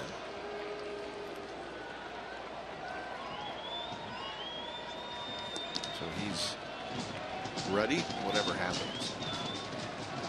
Two, the Dodgers had yesterday off, and they have Thursday off. Really emergency swing. Well, it's not often that a closer comes in a tie game on no, the road. No, hardly ever. Yeah. It's rare, depending on the part of the batting order. We've seen closers come in, and of course, it's righty, righty, lefty for the Athletics, due up in the 10th. You have to figure if he's going to pitch one, he'd need to pitch two. That's right. And that's, again, with the off day yesterday and Thursday, as you mentioned, that's a possibility. Phegley got hit pretty good, but he's okay. Just shake it off, get the cobwebs out, spit the teeth out, and go get them. Something like that. I mean, the way he shook his head, and it, but you feel it. It looked like he felt that one, but oh, look at all that padding around the face. He like like that mask. Another 2-2 pitch. Changeup is outside.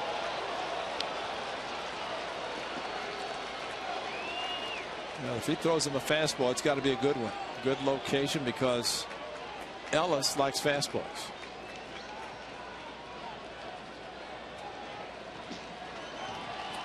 So be careful here. Runner's going to be taken off. That'll be Crawford.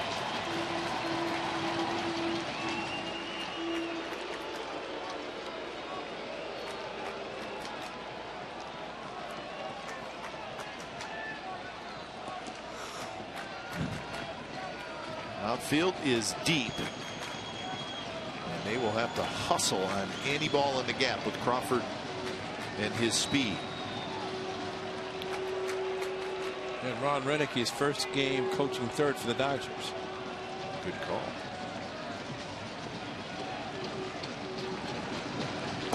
And it's low when he walked in. So two on, two out. And the left-handed hitting Joc Pederson is going to hit. A.J. Ellis has walked four times tonight. And I got nine walks now by A's pitchers. Yep. Now batting, number 31, Joc Pederson. So here's Pederson.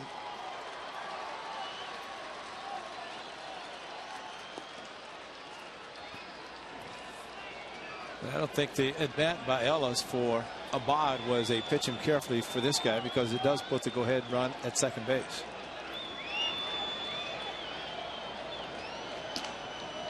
And we know he swings hard. First pitch in the dirt. That right there is Josh Phegley's reputation because Crawford has great speed at second. But that ball got far enough away. If Crawford had any kind of secondary lead, he could have gone to third. He could have walked to third. But once he stopped and couldn't see, thought about it. Of course, two outs, did not want to be thrown out. And Phegley would just like to have the opportunity.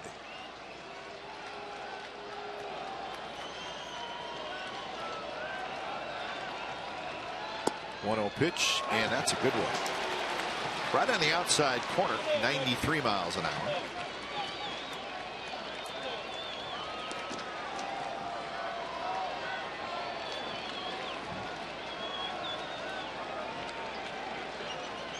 Abad trying to get the A's back into the dugout. Keep this a 4-4 game. Slider, good one. One and two.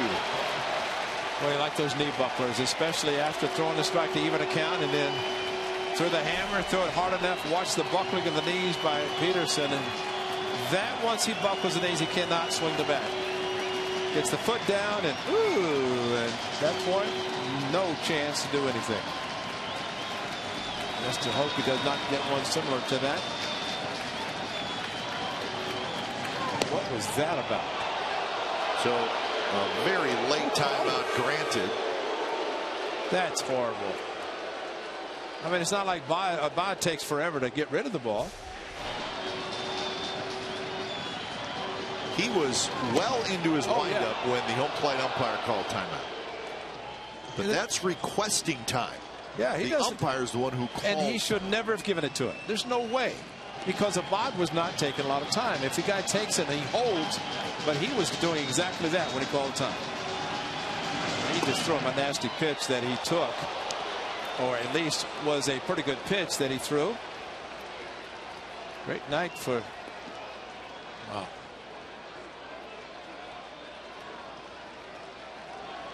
So the count is two and two.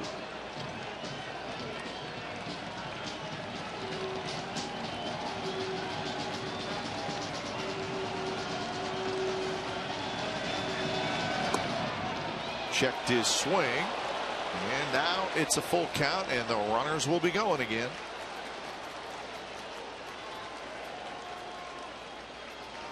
You see Phegley letting his infielders know you got to go across the diamond with your throw to first base. Here's a time if he throws a slider or curve, throw it hard. You want a hitter to commit. He's throwing a fastball.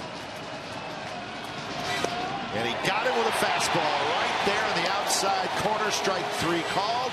And Abad wiggles his way out of it. A couple more runners stranded by the Dodgers. Bottom of the 10th coming up. Canha lead it off 4-4 game.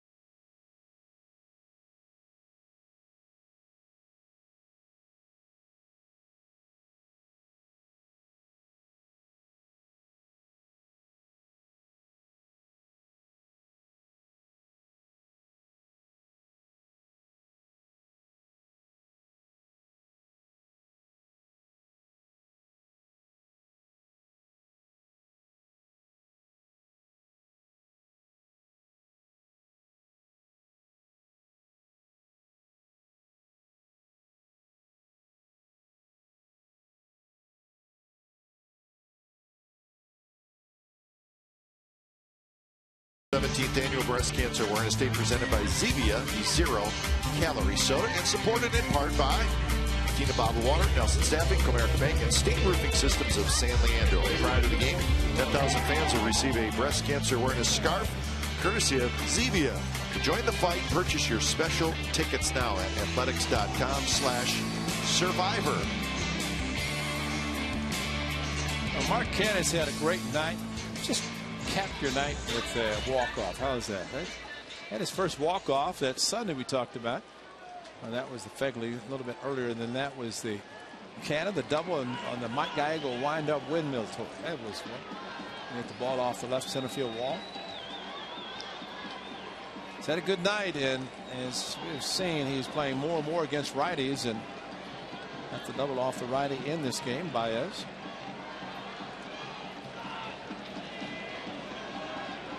First pitch to Canha, a little slider that spins in there first strike.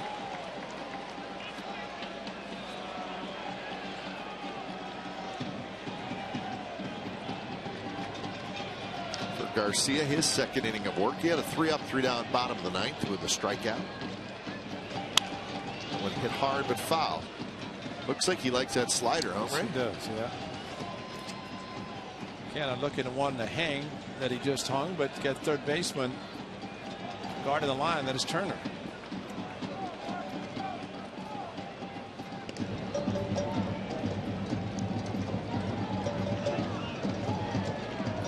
The line gets up again, the left-hander. There's a shot down the left field line. It is fair. Bounces up against the wall. Canha hustling for second.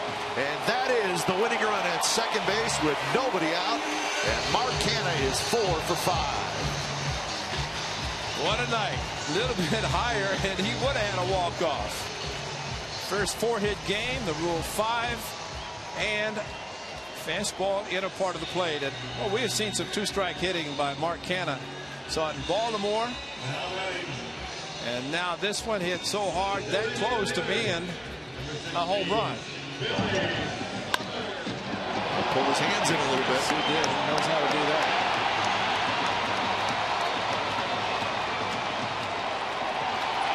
So Billy Butler did a great job his last at bat, moving Canha over to third base with a ground ball to the right side. And he hits one down the right field line. Fair ball. And they're going to wave home Canha.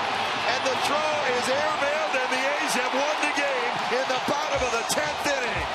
Billy Butler's your hero tonight with a little help from Mark Canha.